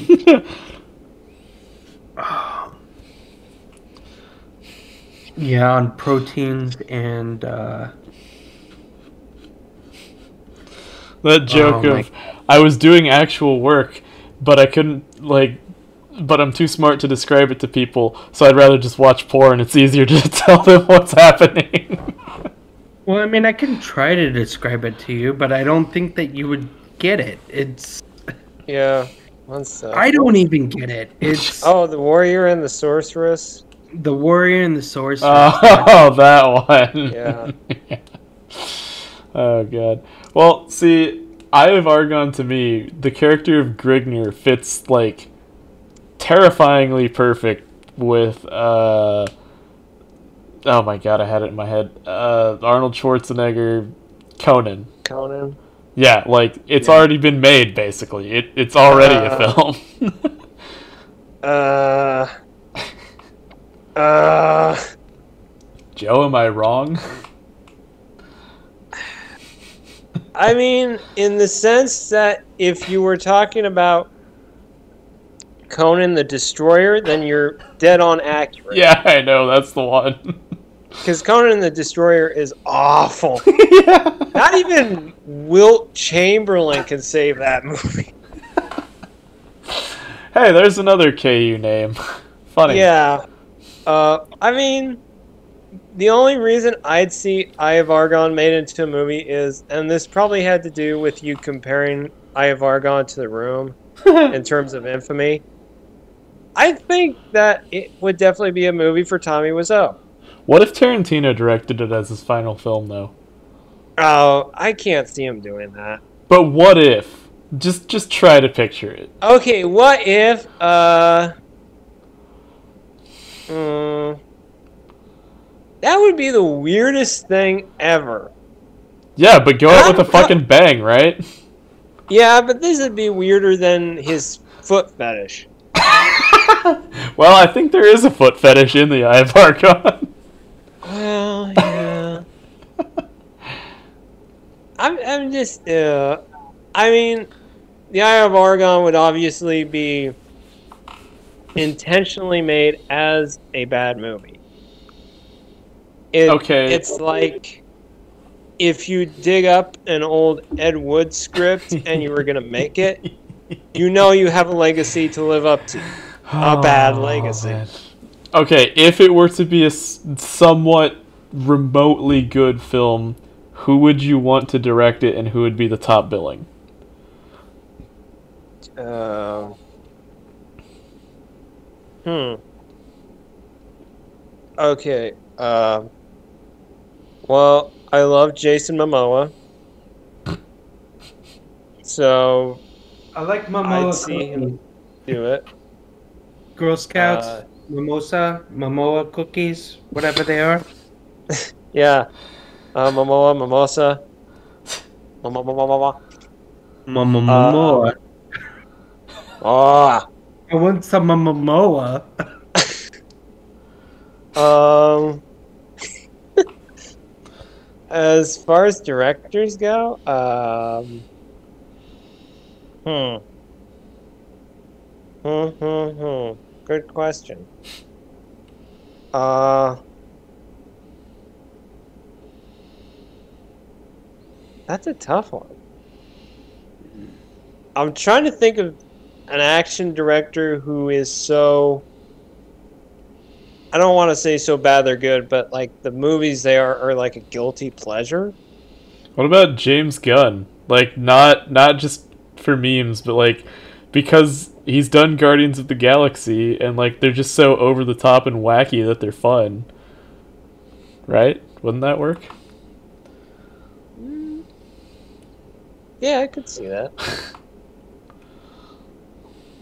um. oh, actually, actually, I like John Carpenter. yeah. oh yeah. Um, wait, wait, wait, wait, wait. What if we got? What if Kevin Smith directed?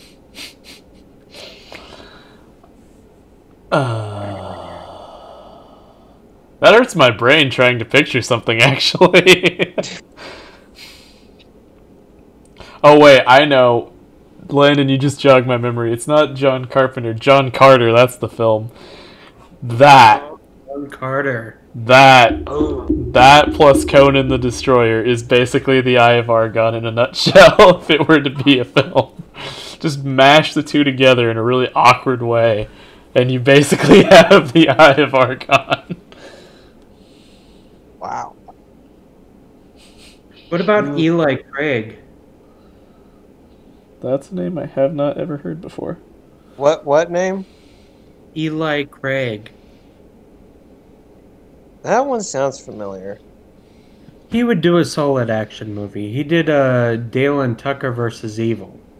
Oh. Yeah, that would that would work, yeah. Um Or Coppola, if you just need to burn some money. um or my could we see we'd probably see Michael Bay doing this, let's be honest. If if you want a genuine answer out of me, I stand by Tarantino. I think I think he should attempt it. Wait, wait, what's that? Oh shit. Who's that one director he boxes his critics? Uh Oh, Uwe Boll. yeah, I think yeah. That's it. Oh god. There's there's mean, why haven't in a while. His movies are a guilty pleasure. They really are. I don't think I've seen one. Uh, you've never seen BloodRayne? Oh, BloodRayne. Nope. Oh my god, shut the fuck up with the BloodRayne. I played the game, I watched the movie, I loved the movie when I was a kid. I'd probably look back and be like, what the fuck? Yeah. Uh, Well, I think I saw the second one before I saw the first. Oh, but th- those titties and the, and the, Oh yeah. No, and- no. and the jail bars. Oh my god, that. Oh. Yeah, but think think about it. You look at that movie and you're like, wait. It's like you're just dropping names of all these people that are in this. It's like, wait, is that Michael Madsen? Is that Ben Kingsley? Holy fuck, is that Meatloaf? oh, Meatloaf. Oh god, that reminds me of another movie. Oh, but who was uh the leading lady? It was uh. Uh shit. You had to say that. Um Kristanna Loken, who Oh, was in one of the Terminator movies. Oh shit! It's got Billy Zane, Michael Paré, oh, Michelle yeah. Rodriguez, Ben Kingsley, Michael Madsen, Matthew Davis, Meatloaf, Udo Kier. Oh when I fuck, watched of course this Udo when I was was younger. I didn't even appreciate the actors that were in it. yeah. Holy shit! Yeah. I mean Yeah, I liked the movie. It was kind of a guilty pleasure, but hey. Not even a guilty pleasure. It's just a pure pleasure that you take to your bathroom in your thoughts. and then you Landon, make guilty. I think I am you not just admitting revealed far too much. If if somebody catches you, Mom, not now. I'm watching a movie. In the bathroom? stop It's, bothering uh, me in my room. It's educational. oh god. Okay, so it's called BloodRayne. Yeah, yeah. BloodRayne. With It a was an awesome video game. Oh, what the fuck with a Y? Yeah, R A Y N E. What All the one word. fuck? Oh, there it is. Yep. And I'm gonna fuck with that tomorrow. Fuck this shit. Sorry, I was trying to do a little bit more research and figure out how to look at uh, alternate splicing, chromosomal layouts on Partek, and I'm just like, nope, not happening. So, Oh, I It- it sounds were like you just figure out how to vaguely jerk off while described- this podcast. It no, sounds like no, you not just the podcast. While we're talking about BloodRayne, I'm like, oh, I know this. I can just like chime in and hang out and I love how I Google it, hit images, and it's just the same woman over and over and over and over and over. There's no fucking images from the movie. It's all just fan art at this point. she's so hot. Not really. I gotta say, not Lady, no, please. Not no. She's like a stripper clown, if anything. That's the A vibe strip- I'm getting. No, that's Harley Quinn. Yeah, I know. It's kind of like Harley Quinn. But and like, there's a problem not. with Harley Quinn. You need to veer away from the fan art and look at the actual act. Well, I'd fucking love to, but there's like no movie. I'm Yeah. looking at David Carradine's filmography, and I just have the inclination to go back and watch Lone Wolf McQuade. Speaking of Lone Wolf, I've checked out Lone Wolf and Cub, uh, the mangas, so I'll start reading those and giving weekly updates, I guess. I was gonna say, go ahead. Um, I love the fucking kid in the cart. um, Where it shoots out knives on the side. yeah. Oh god. Oh, um, what was that when we were around the same time we were talking about Lone Wolf and Cub in school? That one film where it was um, ah, something fist or something. Uh, Blood Fist. Five Fingers of Death, maybe, where it Oh, was like that. fuck. The weird fucking music in the trailer. Don't get me started. I fucking love that. I want to go back and watch the trailer right now. I was about to kill every time I heard that. No, and then you whistled that shit all the time. Oh, Or no, it wasn't. No, it was the. uh No, it wasn't that tune, but it was a whistle. yeah, it was the one from Kill Bill, right? Yeah. Yeah, it was that one. Whatever it was. Oh shit. So Stuart, I, I uh, put up the poster image for you. Ah, there it is. Yeah, that's what like half my customers look like when they come in. Who knew Really? Gandhi would look so good as a vampire? Hit on my wife more if that's what my customers look like. I love how every now and then there is a joke that you just throw out there of you cheating on your wife. Oh God. Eh, that's the kind of humor that we have in this relationship, and that's how this relationship works. she can listen to this, she'll get the comedy, Thankfully. in maybe uh, four more days. Four more days. It's coming out in like less than well, yeah, less than forty-eight hours. So Don't hurt yourself, Stuart. Not. She actually listens to this less than I do. And the only reason I listen to this is because I'm listening to it now. I don't go back and re-listen to my shit. It's like I it's out there in the world. I'm not to like harp on it. If I hear my voice, I find my voice very annoying. So, if I hear it, it's like, oh great, I get to listen to myself for like an hour, an hour and 20 minutes, an hour and 30 minutes. And and then I'm gonna like gonna over criticize it, and then I'm gonna hate myself for doing it. And why do that? I just might as well enjoy now for now, and then when once it's out in the world, if somebody brings it up later, I'll be like, well, you don't like it? Why don't you like it? You know, actually have a conversation about it. And if they have a good argument, I'll be like, you know what, you're right. I won't do that again. And if they don't, then I'll be like, well, fuck you. way to And make this come full like, and I'll circle. be like- They'll be like, So, yeah, what what's the point of listening to this? I mean, I, I would like to listen to one episode just to hear like how you edit it and like Uh, add in sound effects and everything like that. But I'm I'm just not there yet. I don't And- really do sound effects except for like maybe within the last couple of episodes I've added just like a round of applause every now and then. I know this one's gonna have it.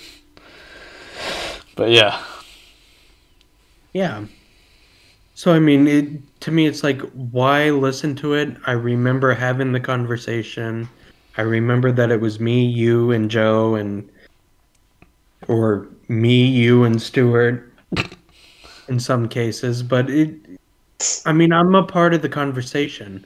Why do I need to re-listen to it? I'm not getting quizzed on this. If somebody has a problem with what I said, then maybe I'm willing to go into pop quiz mode. But guess what? I can ask them questions too. uh, just Oh. wait until we have our own fucking booth at Comic Con. I don't listen to it. Be more specific. What did I say offensive? S- Okay, Stuart, what context did I say that in? I love how Landon's just Stuart, fighting himself right now. could you handle being one of those booths at Comic Con? No, I would go full on Ricky Gervais, like where where he he's like, oh, they're just fucking autograph hunters. Well, that was like Jim Jefferies, but he's like, oh, they're just autograph hunters. They're a fucking mess, and I don't mean their clothes. There's something wrong with their DNA. I'll be back in a minute. I gotta squat. oh God, Jesus Go Christ! right ahead.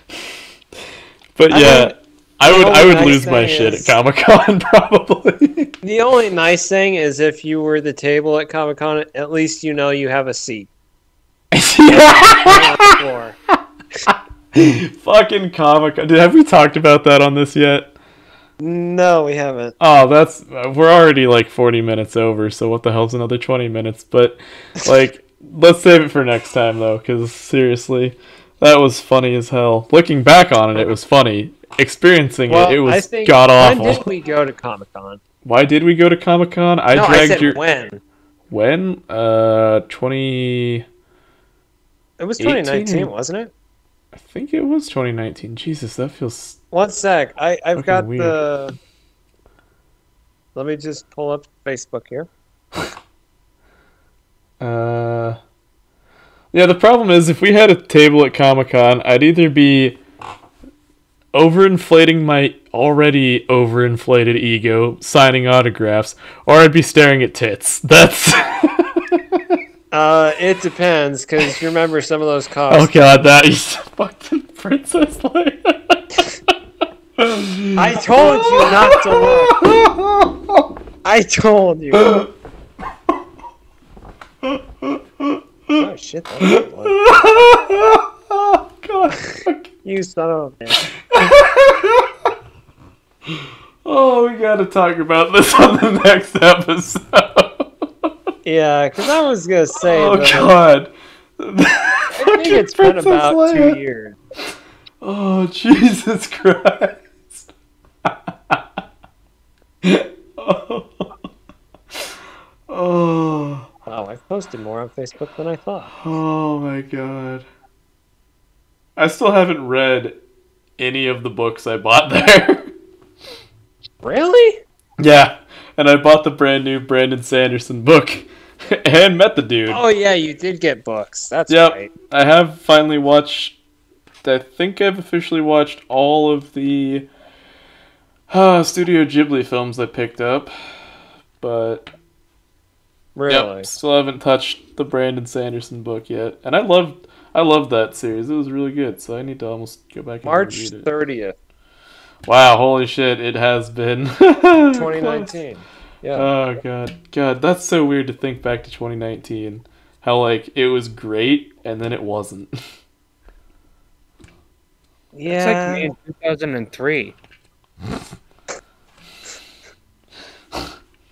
Well, I feel like I missed part of this conversation, but I just had to throw that in there. Don't worry, we'll definitely go into it in greater detail next time. Well, honestly, 2003 was was pretty good. I think it hit around 2004. oh ah, man. I don't know what was happening politically or economically or socially, but so you don't Right. know what's happening. yeah.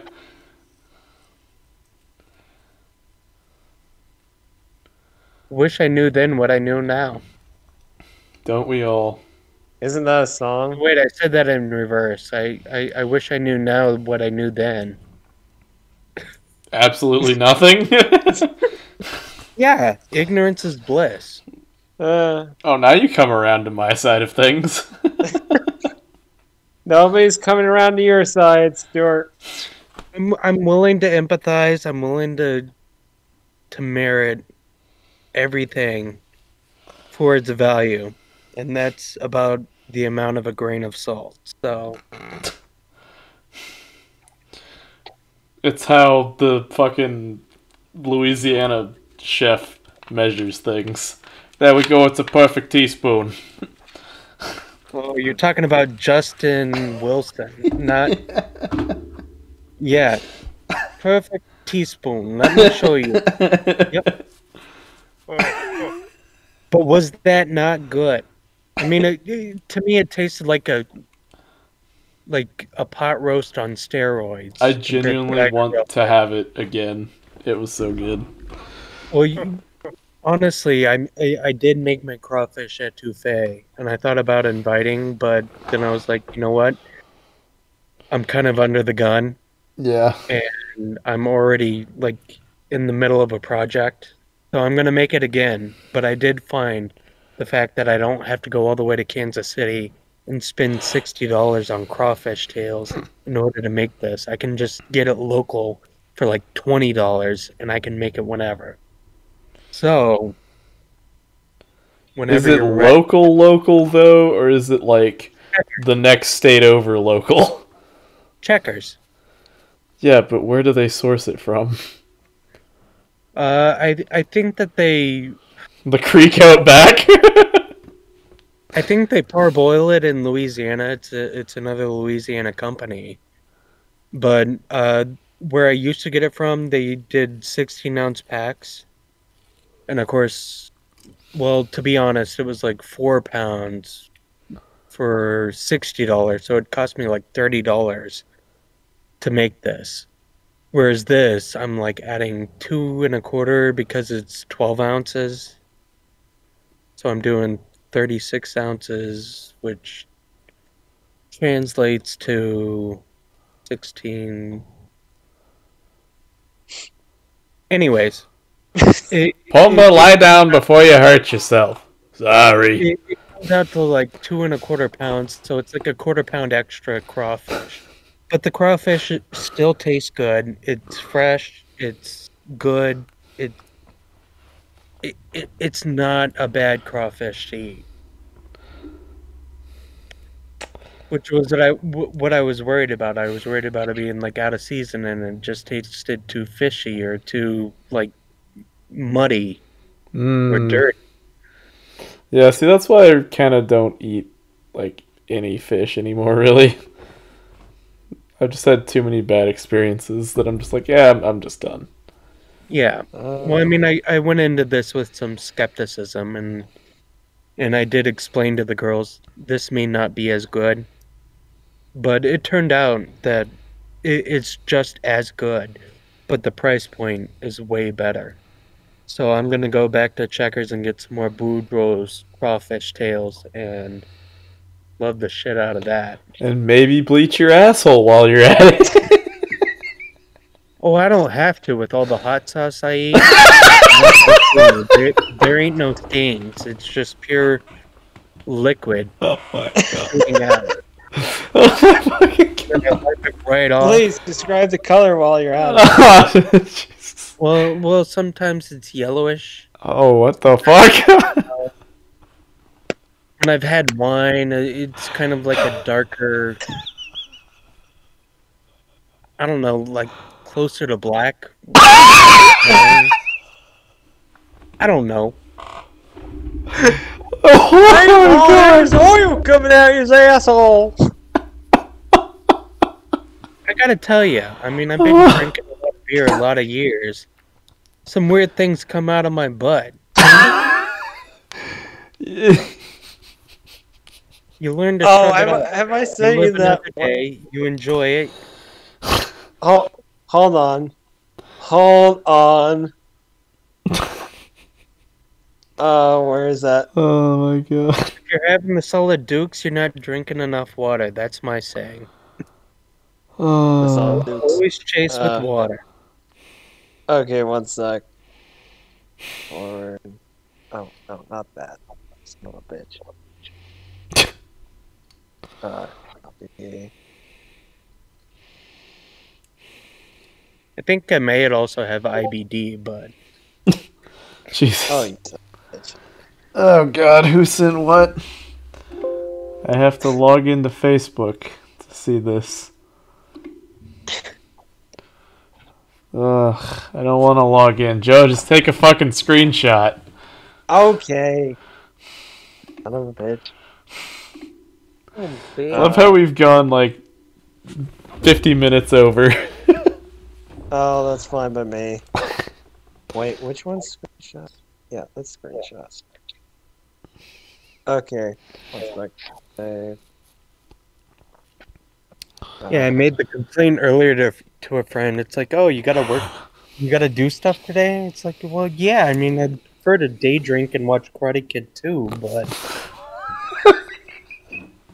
I mean, for some reason, I just want to watch Karate Kid too. I think it's because I watched the latest episode of, or the latest season of uh, Cobra Kai. yeah. And they refer a lot to Karate Kid too. So I'm like, oh yeah, I definitely want to like rewatch that. But then I'm also on the belt because uh, Cool World is on Amazon Prime. And I'm like, oh, I could definitely go for some Cool World. So Oh Jesus, what the hell is this?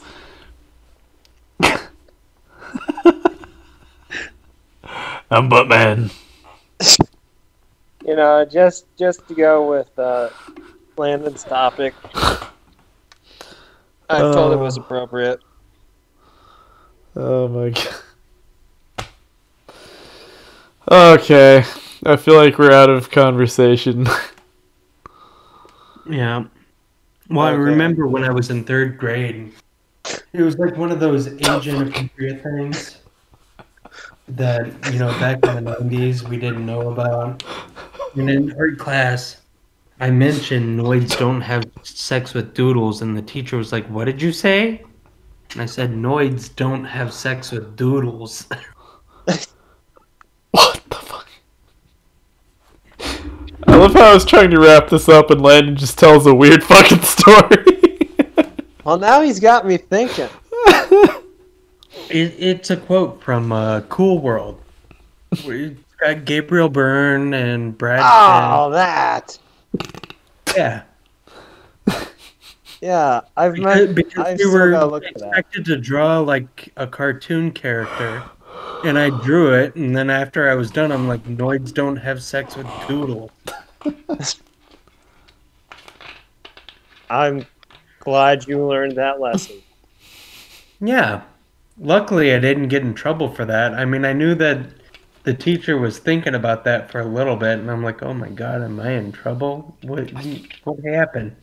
And, and, and that's like the only age appropriation story that I have. Where it's like, oh, maybe kids shouldn't watch certain things. because, I mean, my dad used to let me watch, like, Robocop. We watched, you know, John Wayne movies. We watched I feel like that's the classic childhood for kids at certain generations, though. Yeah, I mean, Yeah. but I, I would, you know, just watch all these action movies. But the one that stuck with me was Cool World because of the fact that I like almost got in trouble for it. Oh But I- man,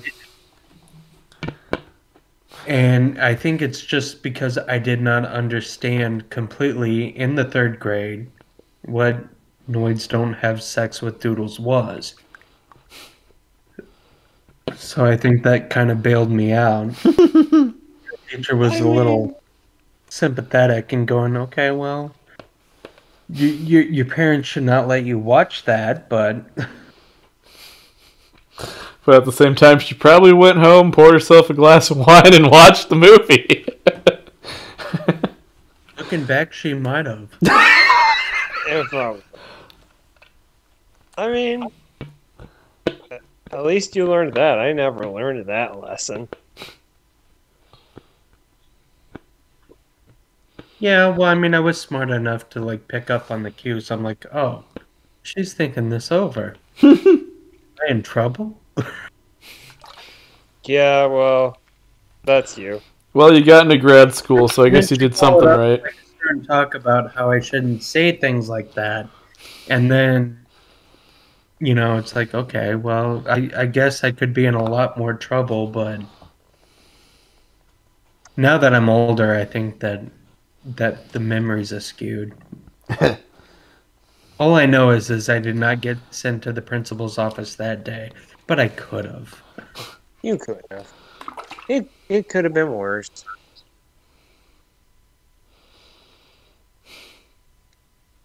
For whatever reason, I'm now thinking about the. Uh, uh, wow, Jesus, Uh, Judge Dredd movie with uh, Stallone. Oh yeah. oh fuck. I am the law. I the oh my god, that movie was great. I love that movie. It was great for all the wrong reasons. Surprisingly, it was. What are you talking about? All the wrong reasons. It was great for all the right reasons. We turned wrong since then. Oh god.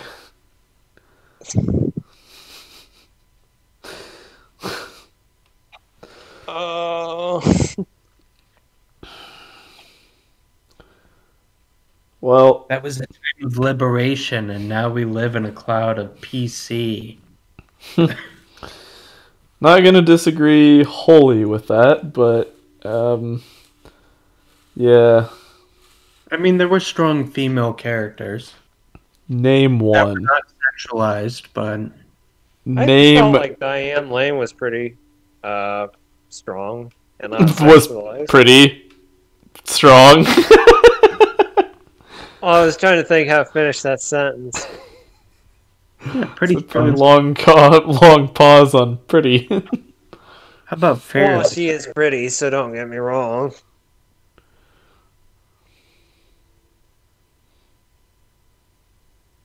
I'd do her. Oh yeah. Wait, I didn't say that. Yeah. Oh fuck it. Let the record show that Joe did say that. Uh, exhibit A. Guilty You know- as charged. you feminist, you, you you can chalk that up as like me being sexist, but women do that too, where it's like, oh, I, I do that. I, I'd I have sex do- with George Clooney. Who would? What appeal does that schmuck have? I do him. What if he doesn't bleach his asshole though? I would not do George Clooney. I, I I think too many people would want that. Matthew Oh. McConaughey has like a lot of weird fans. Yeah. I wouldn't do Matthew McConaughey too. Who would I do? As far as a Hugh male- Jackman. Wait, did you say what would I do? No, who? Okay, I'm not I was really concerned. human beings. Come on. Um. Oh, who's my biggest guy crush? Lizzie knows this. Uh, Lay Well, down I for- think mine is pretty well known. Ed Wood. Johnny Depp. Well, Ed Wood then. Well, I'd be giving him the one. oh my fucking god. I'm giving this to Johnny, if you're listening, I'm waiting. Joe, and you tell me I'm a creeper. That that one. oh my god. What the hell? Uh, oh, who's your guy crush, Landon? Trying to think. I think I'm putting too much pressure on it. Lizzie knows, but she's asleep. the so- first dude that comes to mind, just say it. Uh, I'm sorry, I'm drawing a mental blank. It's it's there, but it's um Well, we know whose ass you're eating.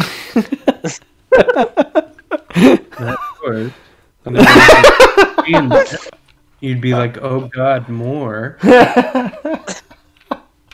oh, we really need to stop recording these so late at night. Oh, ooh, ooh.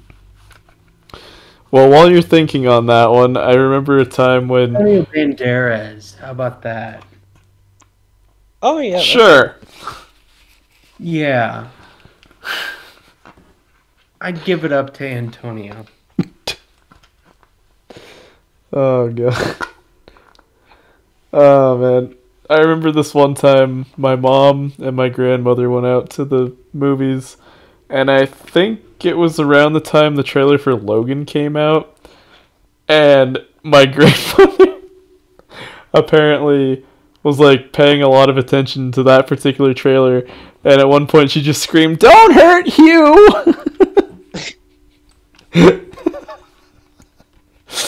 uh, oh my god.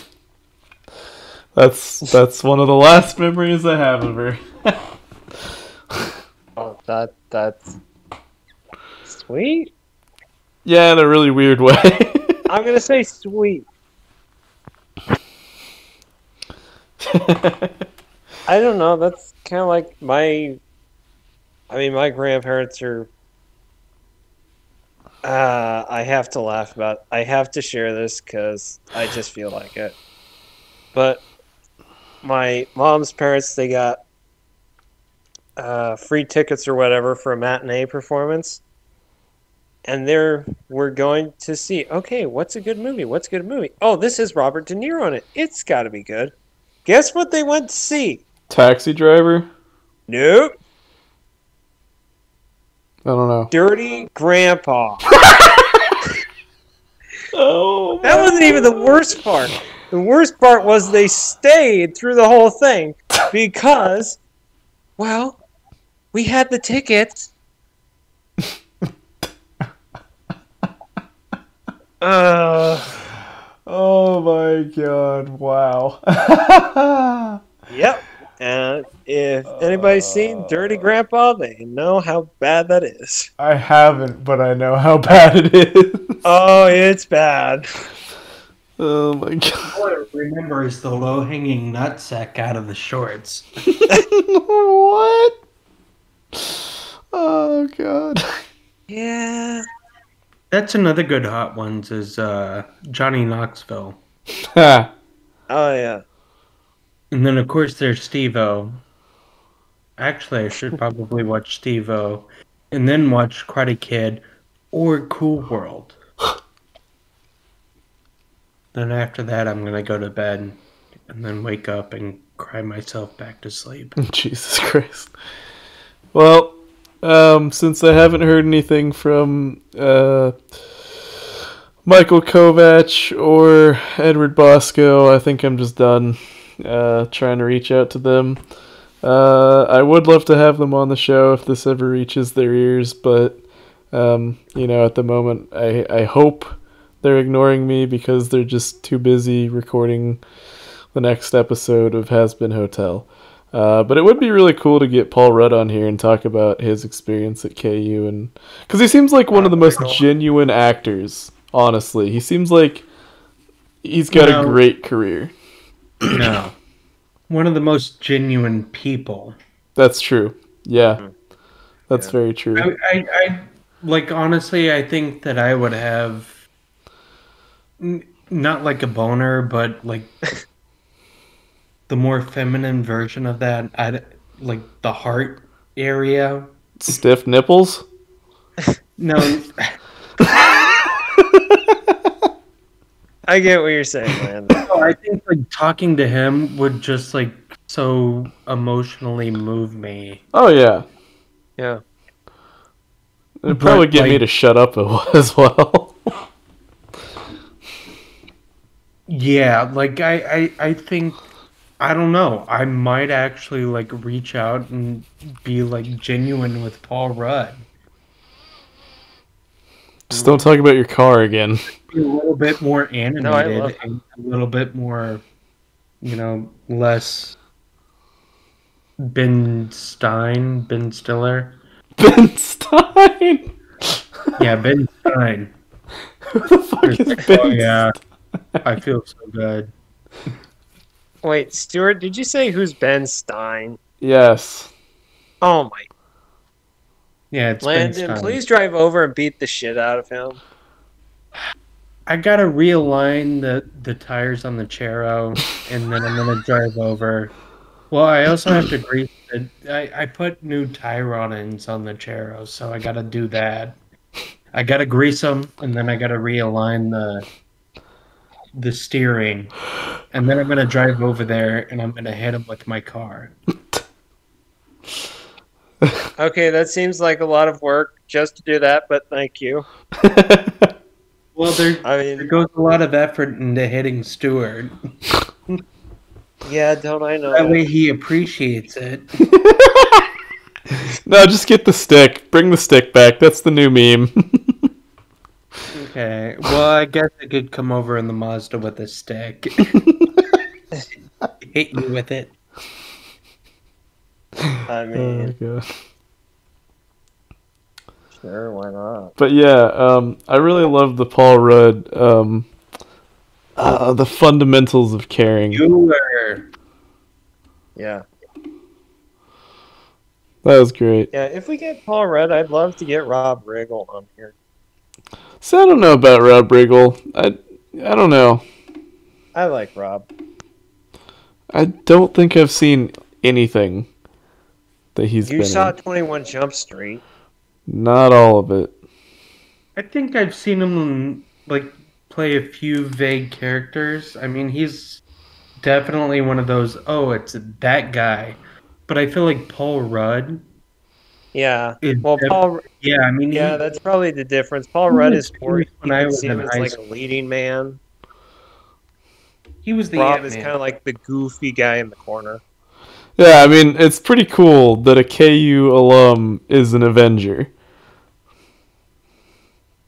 I mean, I I would venture to say that Rob is more serious than Paul. Mm. In a different sense, yeah. Personality and persona, because he he always comes off as like super intense. Rob does, where he's like, no, I get a Patrick Warburton vibe from Rob Riggle, though. Paul Rudd is more like, oh, I'm, I'm kind of laid back. I'm chill. I'm cool, and Oh, that's funny. And whereas like Rob Riggle, he's more like, you know, he's more like an intense funny. Eh, I don't know. Didn't, didn't Paul Rudd do Our Idiot Brother? Oh my. Yeah, that's right. I love that movie. I absolutely love that fucking movie. Like, Sorry, For- I had a. for as much as we've shit on Disney and Marvel and stuff, like, you have to remove Paul Rudd from that. You really do. Because it's like, well, yes, I hate most of all that, but Paul Rudd seems like such a genuine guy that, yeah, I definitely want to, like, have a conversation with him. It is weird, though, that you don't, like, he doesn't show up to any KU stuff, and Rob Riggle is always there. Yeah, I saw Rob Riggle at KU. That's why I was like, "Ooh, that'd be." Cool. I know, but like, why doesn't Paul Rudd show up? Is it because like he and I think so similarly about like, eh, you know, just get my degree and move on with my life?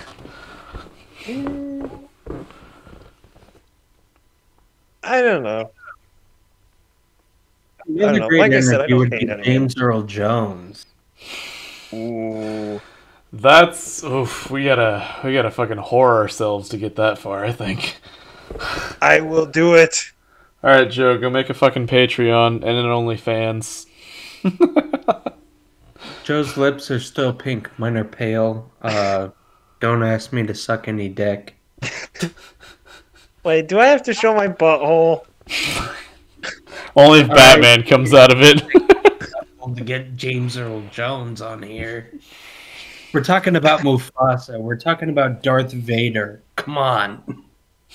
We're talking about whoever he played in Field of Dreams. Really?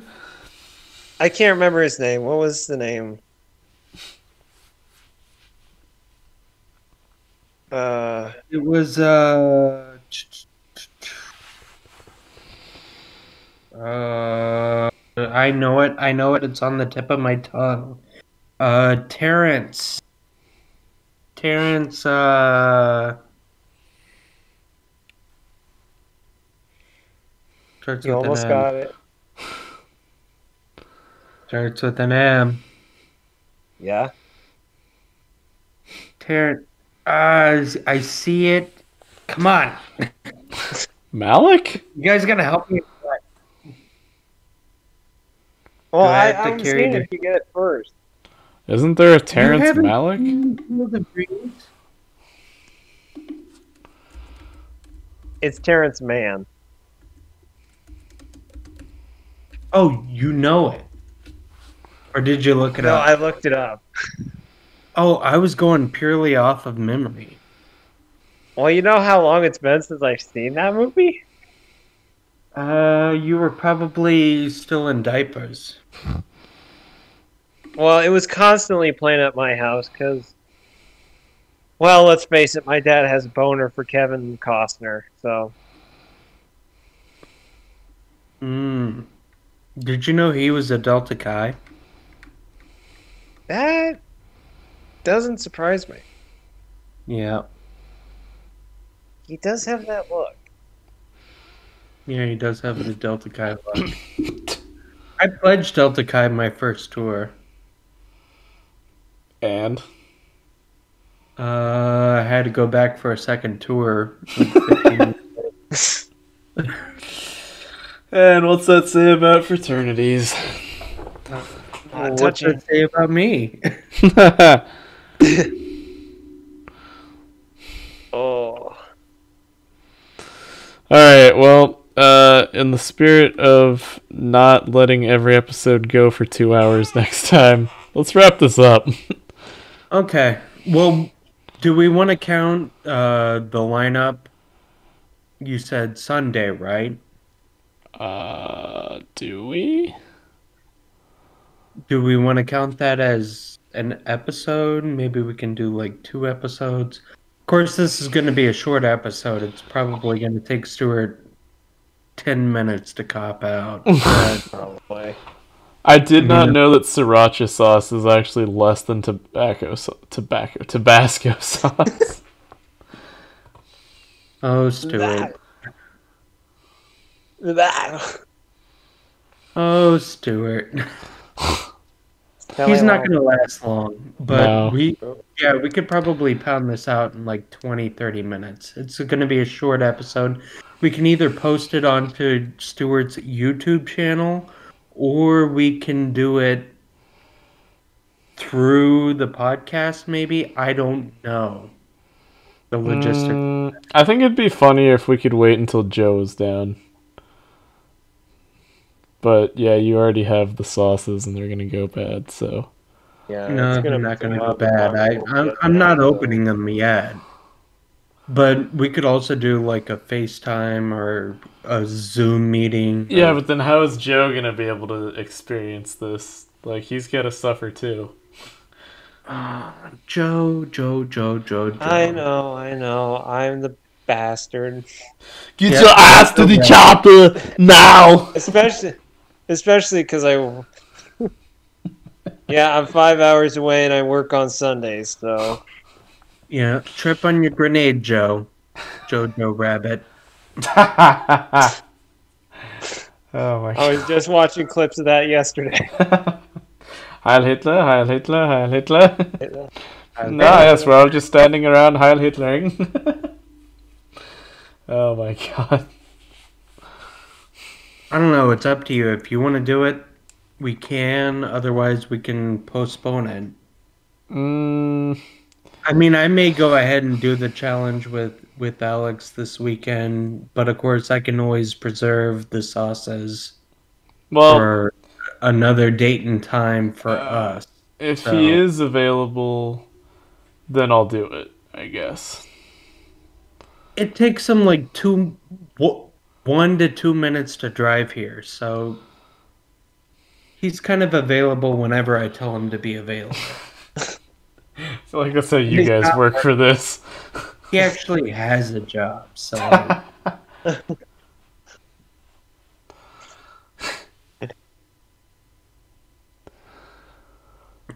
Uh, well, it is almost Yeah, well, eleven. maybe I'll so- preview the lineup, and, and that'll actually give me time to actually get the the Sean Evans and esque um, spirit of interviewing you while you're doing the wings. Yeah, it's got to be a proper interview too. Yeah. You got to like come up with meaningful questions to ask me, right? Yeah. I mean, I, I I feel like I have enough to go off of, but maybe I need to think about it a little bit more. On like, what do I want to ask you? Do I want to ask you, are you a virgin? Who, uh, you know, who do you commune with? I don't know. I was thinking of like stupid questions like that, but we can make it more serious. Uh, I don't know. I don't care. I'm I'm pretty open. So Surprise him. Yeah, that's the whole point of the interview, right? Is to just like feed me spicy ass fucking chicken nuggets and. You know what? Go out and buy fucking dinosaur chicken nuggets. That's how they need to do it from here on out. Yeah, well, why don't we hold off until Lent? Yeah, I mean, they're prep. preserved until I crack it open, and then after Okay, that, so it- that'll be April. I mean, the the hot sauces don't go bad; they just get worse. they Like- ferment. like the bacteria, the the the fungi and bacteria that would grow in a normal, you know, emulsification of ingredients. Just e- even they are like, God damn it, no. Yeah, I'm, I'm, I'm genuinely surprised the fucking glass doesn't like melt on the super spicy one. Well, they put it in like non. Well, glass doesn't react with uh, super spicy, and that's why it's always best to preserve your your hot sauces in glass. And, and then, of course, if you're making your own, you should always saran wrap the top because plastic does not interact with um, with the spicy either. So glass and plastic are pretty good for for preserving hot sauces. They're also great for preserving the environment by not breaking down. Yeah, well, you can have your hot sauces or you can save the environment. Either way, you're hurting yourself. Point taken. Oh god. But guess what? If life is not worth living, why live it? As weirdly worded as that is, that's a great philosophy. It is. I mean, there's a reason why you should, like, work towards becoming a certain thing in order to give yourself the opportunities to actually enjoy your life. But if you can't afford to enjoy your life, then you're not actually living. So, But what if you're trying to live and enjoy your life, but you don't have a job for whatever reason, so you're not getting paid, so you can't enjoy life because life requires money. Okay, Then maybe you should work towards oh getting my a job. Well, tell that to all the fucking bums on Mass Street. Good night. Okay, so Yeah, you- we're calling it there then. Okay. Work, work towards getting a job so that way you can afford to do the things you want to do. That is the to a good life. And I'm still working on that. I'm I mean there was times when I had like a decent paying job and I could have taken risks. Oh, I could have gone to like Five Finger Death Punch or I could have you know flown to the Bahamas for 3 days. Damn. I could have afforded it, but of course I would have been, you know, sacrificing, you know, like a week's worth of booze and table. But I mean, get your priorities straight. Figure out what you want, and then do it. And then everything else be damned. Just, just do that. If you want to live your life traveling the world after the pandemic, of course, you know, drop down to a lower lower cable thing, do whatever you need to do.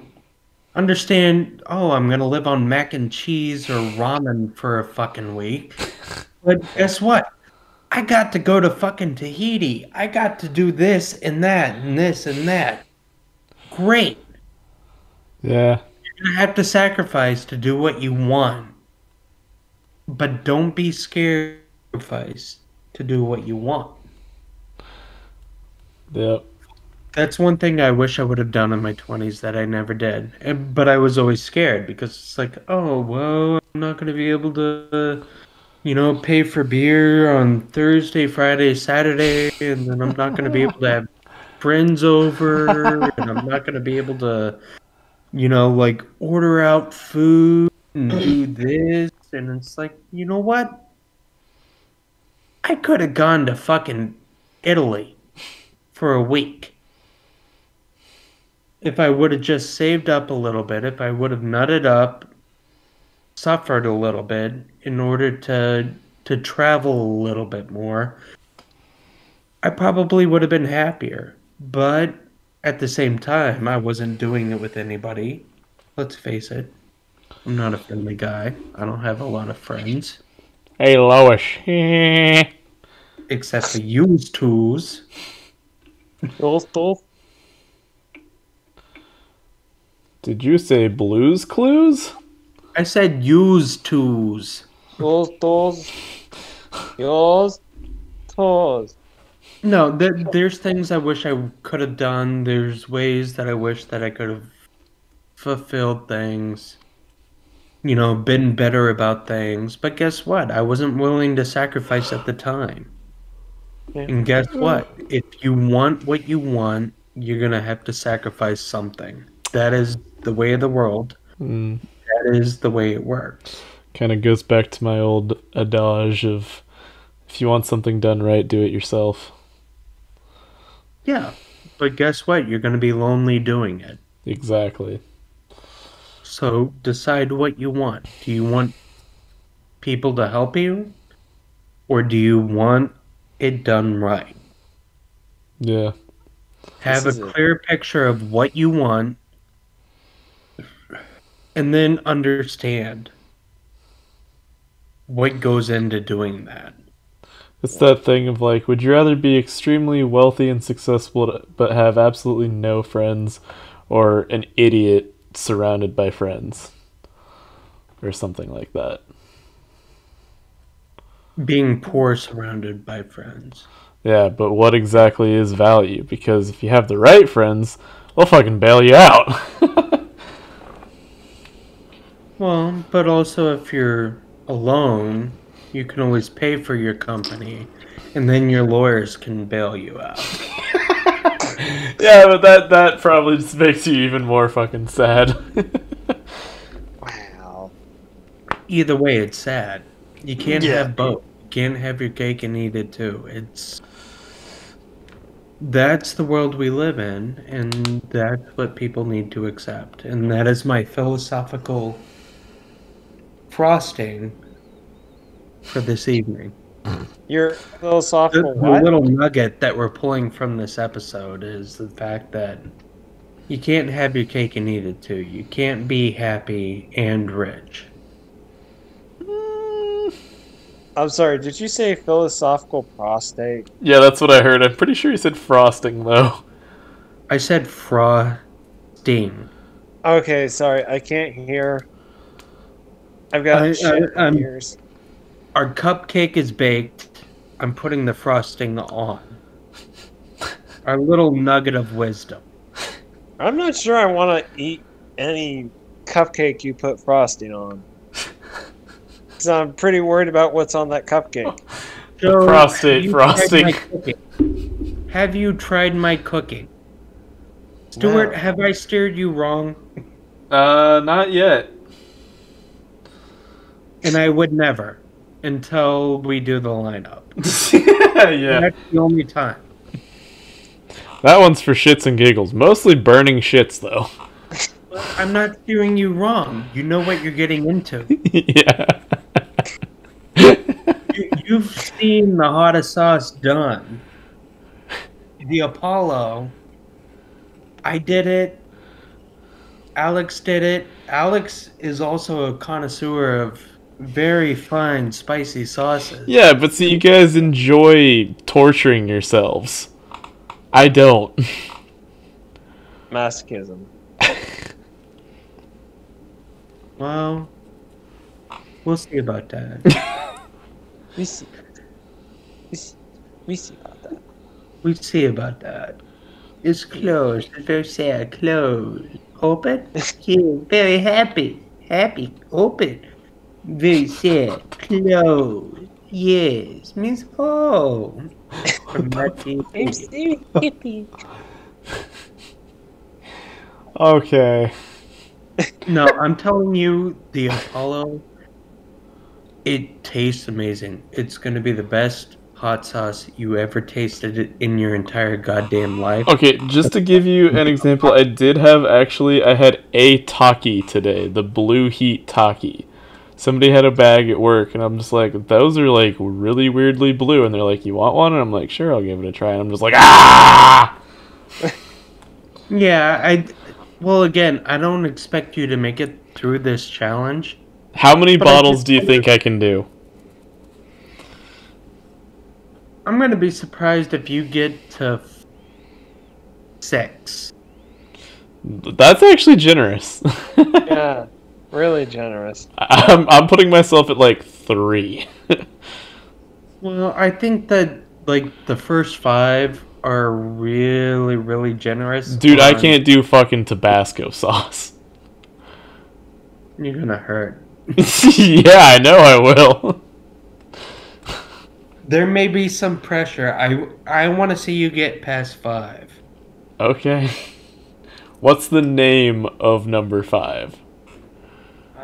Let me look it up because I I'm not like sitting here with my sauces in front of me. Yeah, but you're a diehard fan and you like were dying to get your lineup, so like I would have figured in you my closet, hiding away from the light, hiding away from my children, hiding away from my wife, hiding away from Alex, who is like dying to bust into him. So I'm like, no, I'm just putting this way out of sight, out of mind for now until All Stuart is ready. Well, I'm I'm ready. But SpongeBob is ready. I'm ready. I'm ready. I'm ready. I'm ready. Ah! Good morning, Mr. Krabs. Grr, grr, grr. Oh, good morning to you, SpongeBob. there's my demo Alright, so reel, I guess. The first one is Hot Ones, the classic hot sauce made by Hot Ones. The second one, hot and saucy garlic and pepperoncini hot sauce. Mm, that one actually sounds really good. And then there's Mark's Barbados style hot sauce. Lizzie and I spent our honeymoon in Barbados. There ain't nothing spicy about that. That's actually a wonderful place to be. What's the Uh, Scoville rating on three? On three. I can look that up. Because I'm smart and I know how to do research. Because I'm a scientist, God damn it. Uh, Barbados style hot sauce. oh, we need a merch store so badly. Just I'm a scientist, God damn it.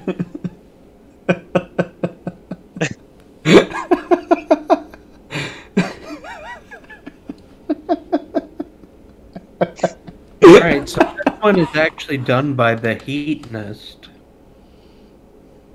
Uh, ingredients, size. God damn it, give me a Scoville rating. five fluid ounces, three out of ten. The fuck is three out of ten?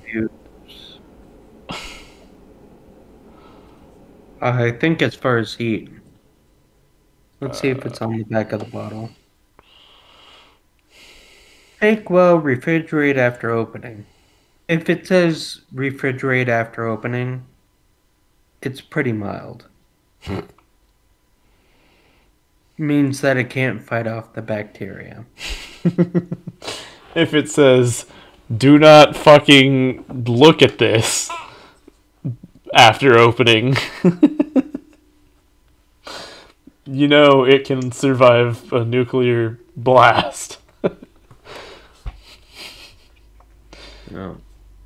I'm looking it up. Uh, Scoville rating. Mark's Barbados, 15,500 Scoville. Oh yeah, I'm gonna fucking die. What? On 15,000? Yeah, Tabasco's not even 5,000, right?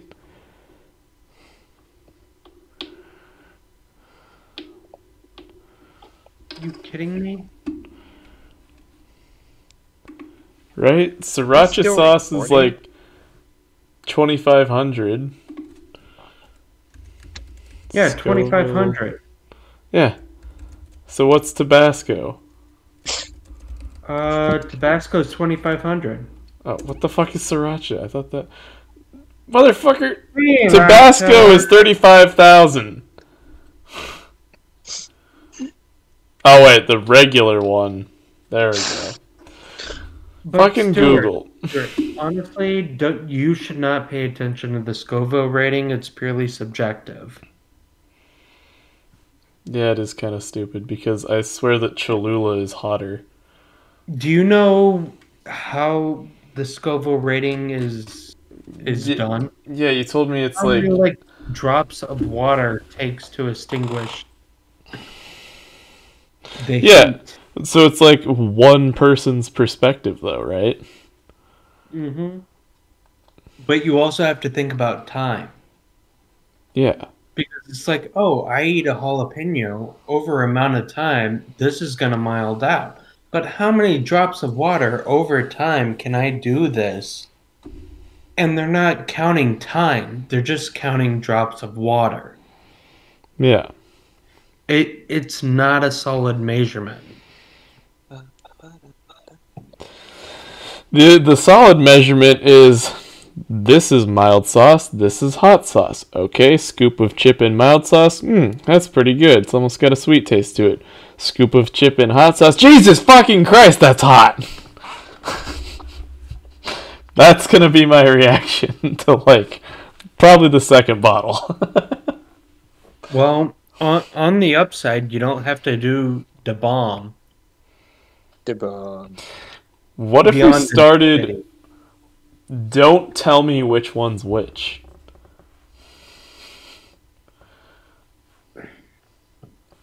Well, that takes away from the game. I mean, Apollo two point five million Does it, point though? five million Scoville. Fuck.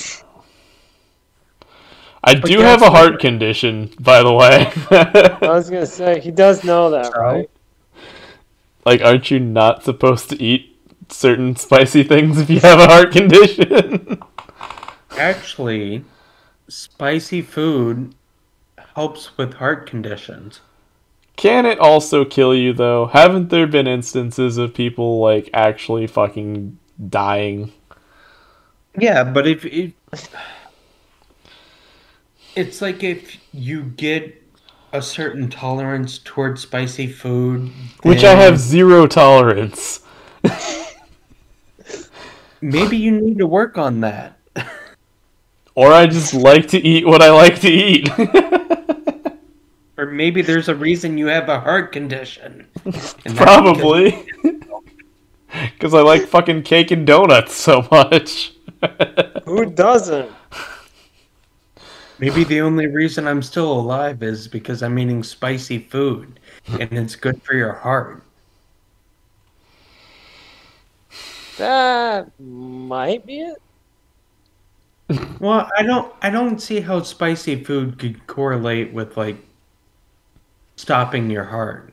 granted, I I think that you could like end up throwing up or having, you know, a certain amount of shock that would end up yeah. killing you I'm just like, oh fuck, oh fuck, oh fuck, oh, because oh fuck. of weight card. But I mean, if you like slowly expose yourself to spicier and spicier food, it, it's actually like scientifically proven that it's gonna help with heart health. Hmm. Yeah, but how slow is slow? Like what you can do. I mean, w- once you get to the point that you can eat like a whole jalapeno pepper full, that's probably the moderation of healthy. but I mean, start with like a centimeter of jalapeno and work your way up, or you can start with like a hot sauce, say Louisiana. And once you get used to like eating Louisiana on a regular basis, you can work your way up to like a habanero hot sauce. I think I could Or- eat a whole jalapeno pepper because I kind of already do with nachos, and like I'll actually pick out. I know what I just said, but like I'll actually pick out the jalapenos and like eat them not on a chip. I'm telling you, if you can handle a jalapeno without like crying, you're gonna be fine for this challenge. All right, let's just see how much your kids judge I've- me I've afterwards. though. weaker men. I mean, not weaker men do this challenge, but I mean, I'm a guy who like grows habaneros and eat, eats them all. Or, and like, accidentally scratches your eye with it. Yeah, I'm okay with that. I mean, it hurts. but I learned how to tolerate the pain. And I think that's what this comes down to. It's a pain thing. And if you can overcome this pain, it it's going to be a revelation. It's going to be self-discovery in in in not a cult way, but just like for your own benefit.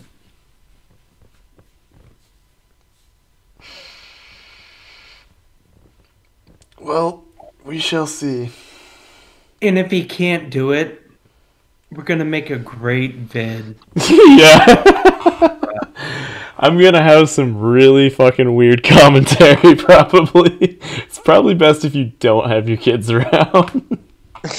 No, it's okay if you're around. I mean, they they've seen this before. They've done this before. I mean, look look at Alex.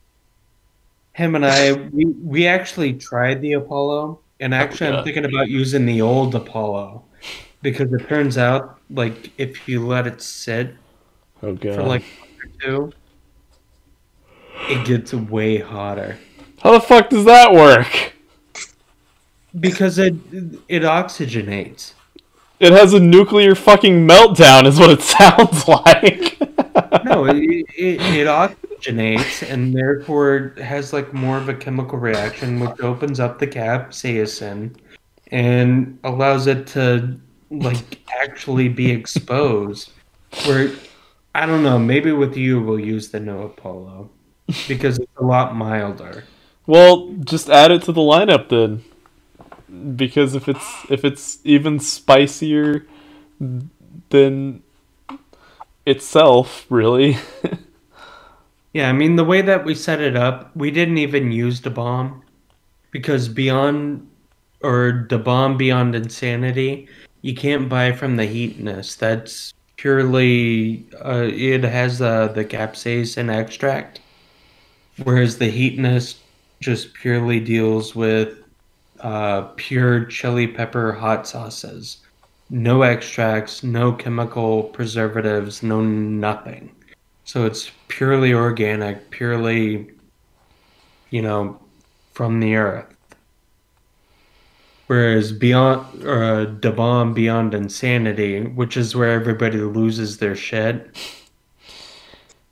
Alex actually actually has it, and they're produced in uh, Kansas City. But Oh my god! Wow.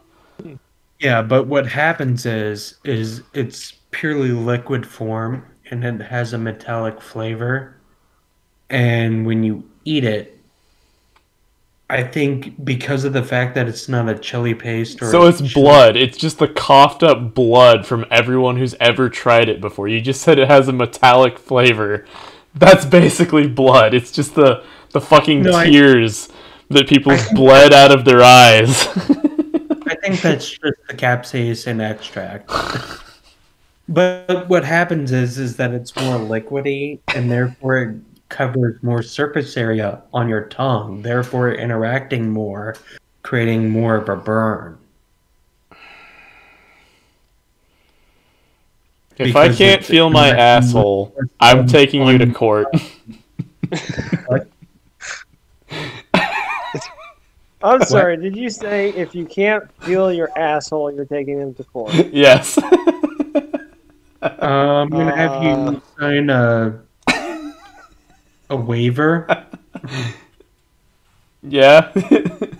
I If- mean- if you do get a heart attack or if there is a medical issue, then yeah, I I'm willing to cover that. I'm willing to be liable for your problems. not as an associate, but as a friend, because that's what friends do. If your ass is numb, you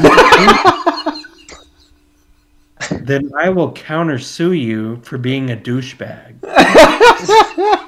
Wait, okay, I have to ask.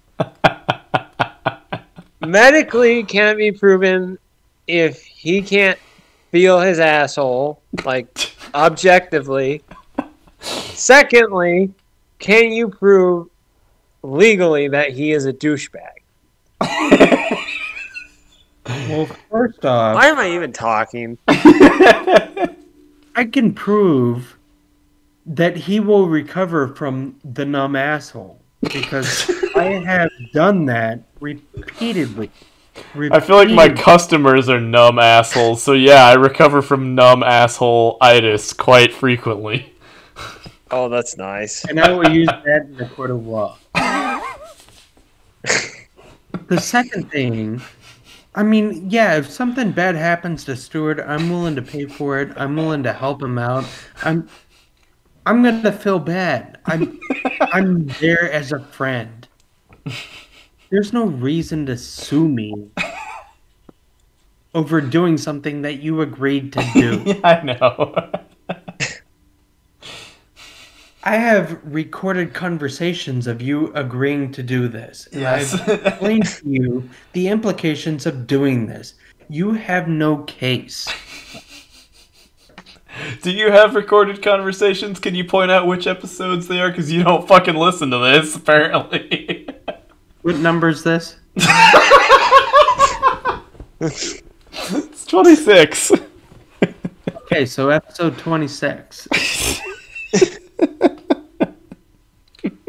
Joe, help me out if I forget. Uh, you're asking the wrong person for help. So At anyway, this point, I'm kind of wondering what the fuck is that iguana doing on my table?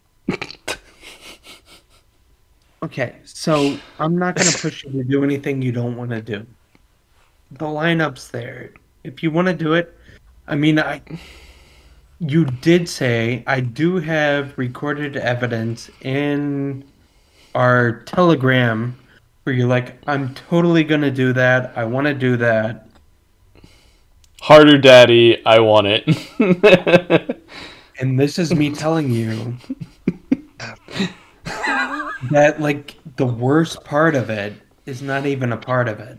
But I can't even tell you what the worst part is because I haven't done this lineup. but I'm about to do this lineup this weekend. You can be a part of it or no. You can wait a little bit. No, want you to know, once if, if you're gonna experience it for the first time, I'm gonna be there. Then I'll do it. I'll do it. I'll fucking. I don't you will.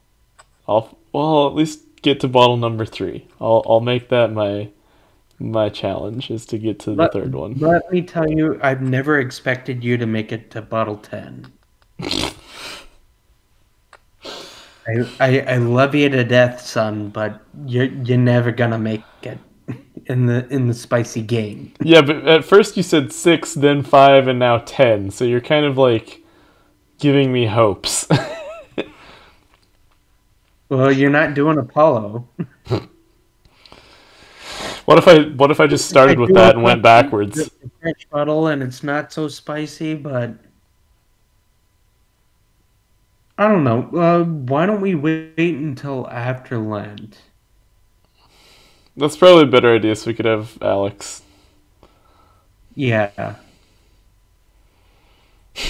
I mean, I'm I'm still definitely opening them up this weekend, and you should stop by. I mean, we we can do like a taste test, kind of get an idea. of- No, no, because you gotta have the raw reaction to it.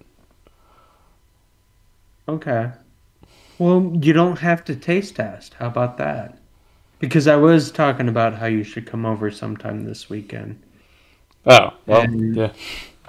Well, tomorrow I, I I'm planning on doing like a couple hours. I got to figure out how to do like uh, an alternate splice visualization and Partek. And that'll probably take me like an hour or two, but after that, I'm thinking about cooking something pretty good. I don't know what I'm gonna do yet, but I got a couple of brats and a bunch of like just random other shit. I've been like panic buying when I go shopping now because gas prices are just fucking through the roof. And so I just go for like all the fuel saver stuff. Yeah. Yeah. You invest in stocks, my parents invest in oil. Well, you can invest in oil stocks as well, so Yeah, I know. I don't I don't make enough to invest in anything right now. I invested in my in- education. there you go. That's There a pretty good go. investment. I mean, do you have five thousand dollars that's just sitting around? Not yet. I'm waiting for that uh Biden money. Jesus Christ. Do you have five thousand dollars just sitting around? Well, stick it in the stock market. you could lose it all. And Just my pick it up your ass and set fire to it. Yeah. I'll get about the same from my tax return as I will from the Biden money, so Damn, that's pretty good. Yeah, ten thousand dollars in the pocket. I'm planning on making a Cajun microwave. I kind of want to be there just to film it all, and then we could just like put that up. Uh, yeah, we could do that. just to do like I mean, a it time have lapse. to be a part of the podcast. That could just be a Stuart production. Cajun microwave documentary. My friends make a Cajun microwave, following uh, Justin Wilson's outline and online videos. I feel like uh, we we should probably branch out and create like a film dudes channel just for like all the weird extra bits and stuff. I think I need to lose weight before that happens. I want to be sex icon. You know how it is.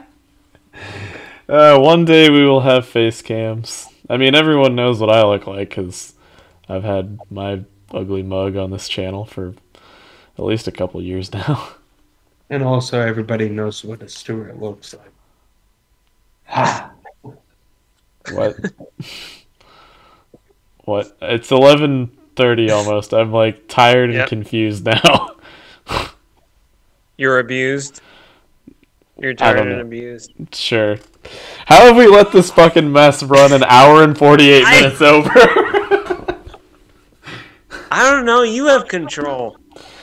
Sorry, it's my fault. I I've gotten used to the idea of starting a meeting and then making it prolong for hours in order to get things done.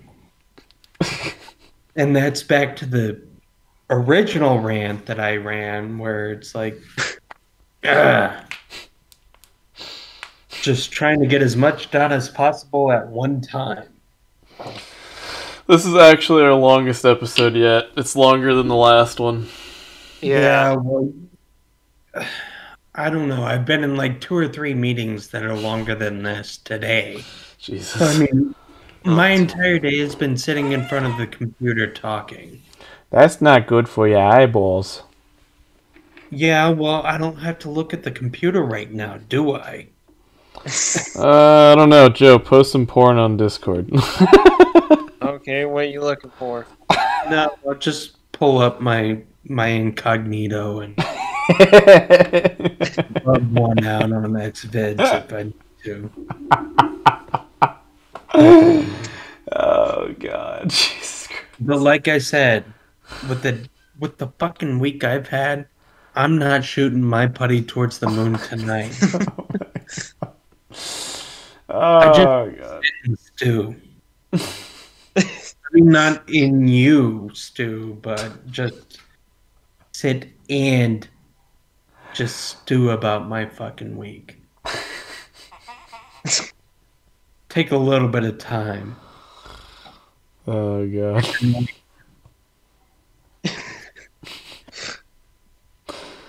Well, my 38th This- this attempt to wrap this up. Let's see if it works. Do, please do. Yeah. Before this train goes any further through the earth and out the other side and into space. If anything, yeah, it's the fucking drill from that one movie where they have really awful CGI graphics to convey digging through the Earth's core. Anyways, yeah. Alright, cool. Well, this has been a shit show. I mean, film dudes, and we'll see you all next week. Peace out. motherfucker. What? Bye. Oh,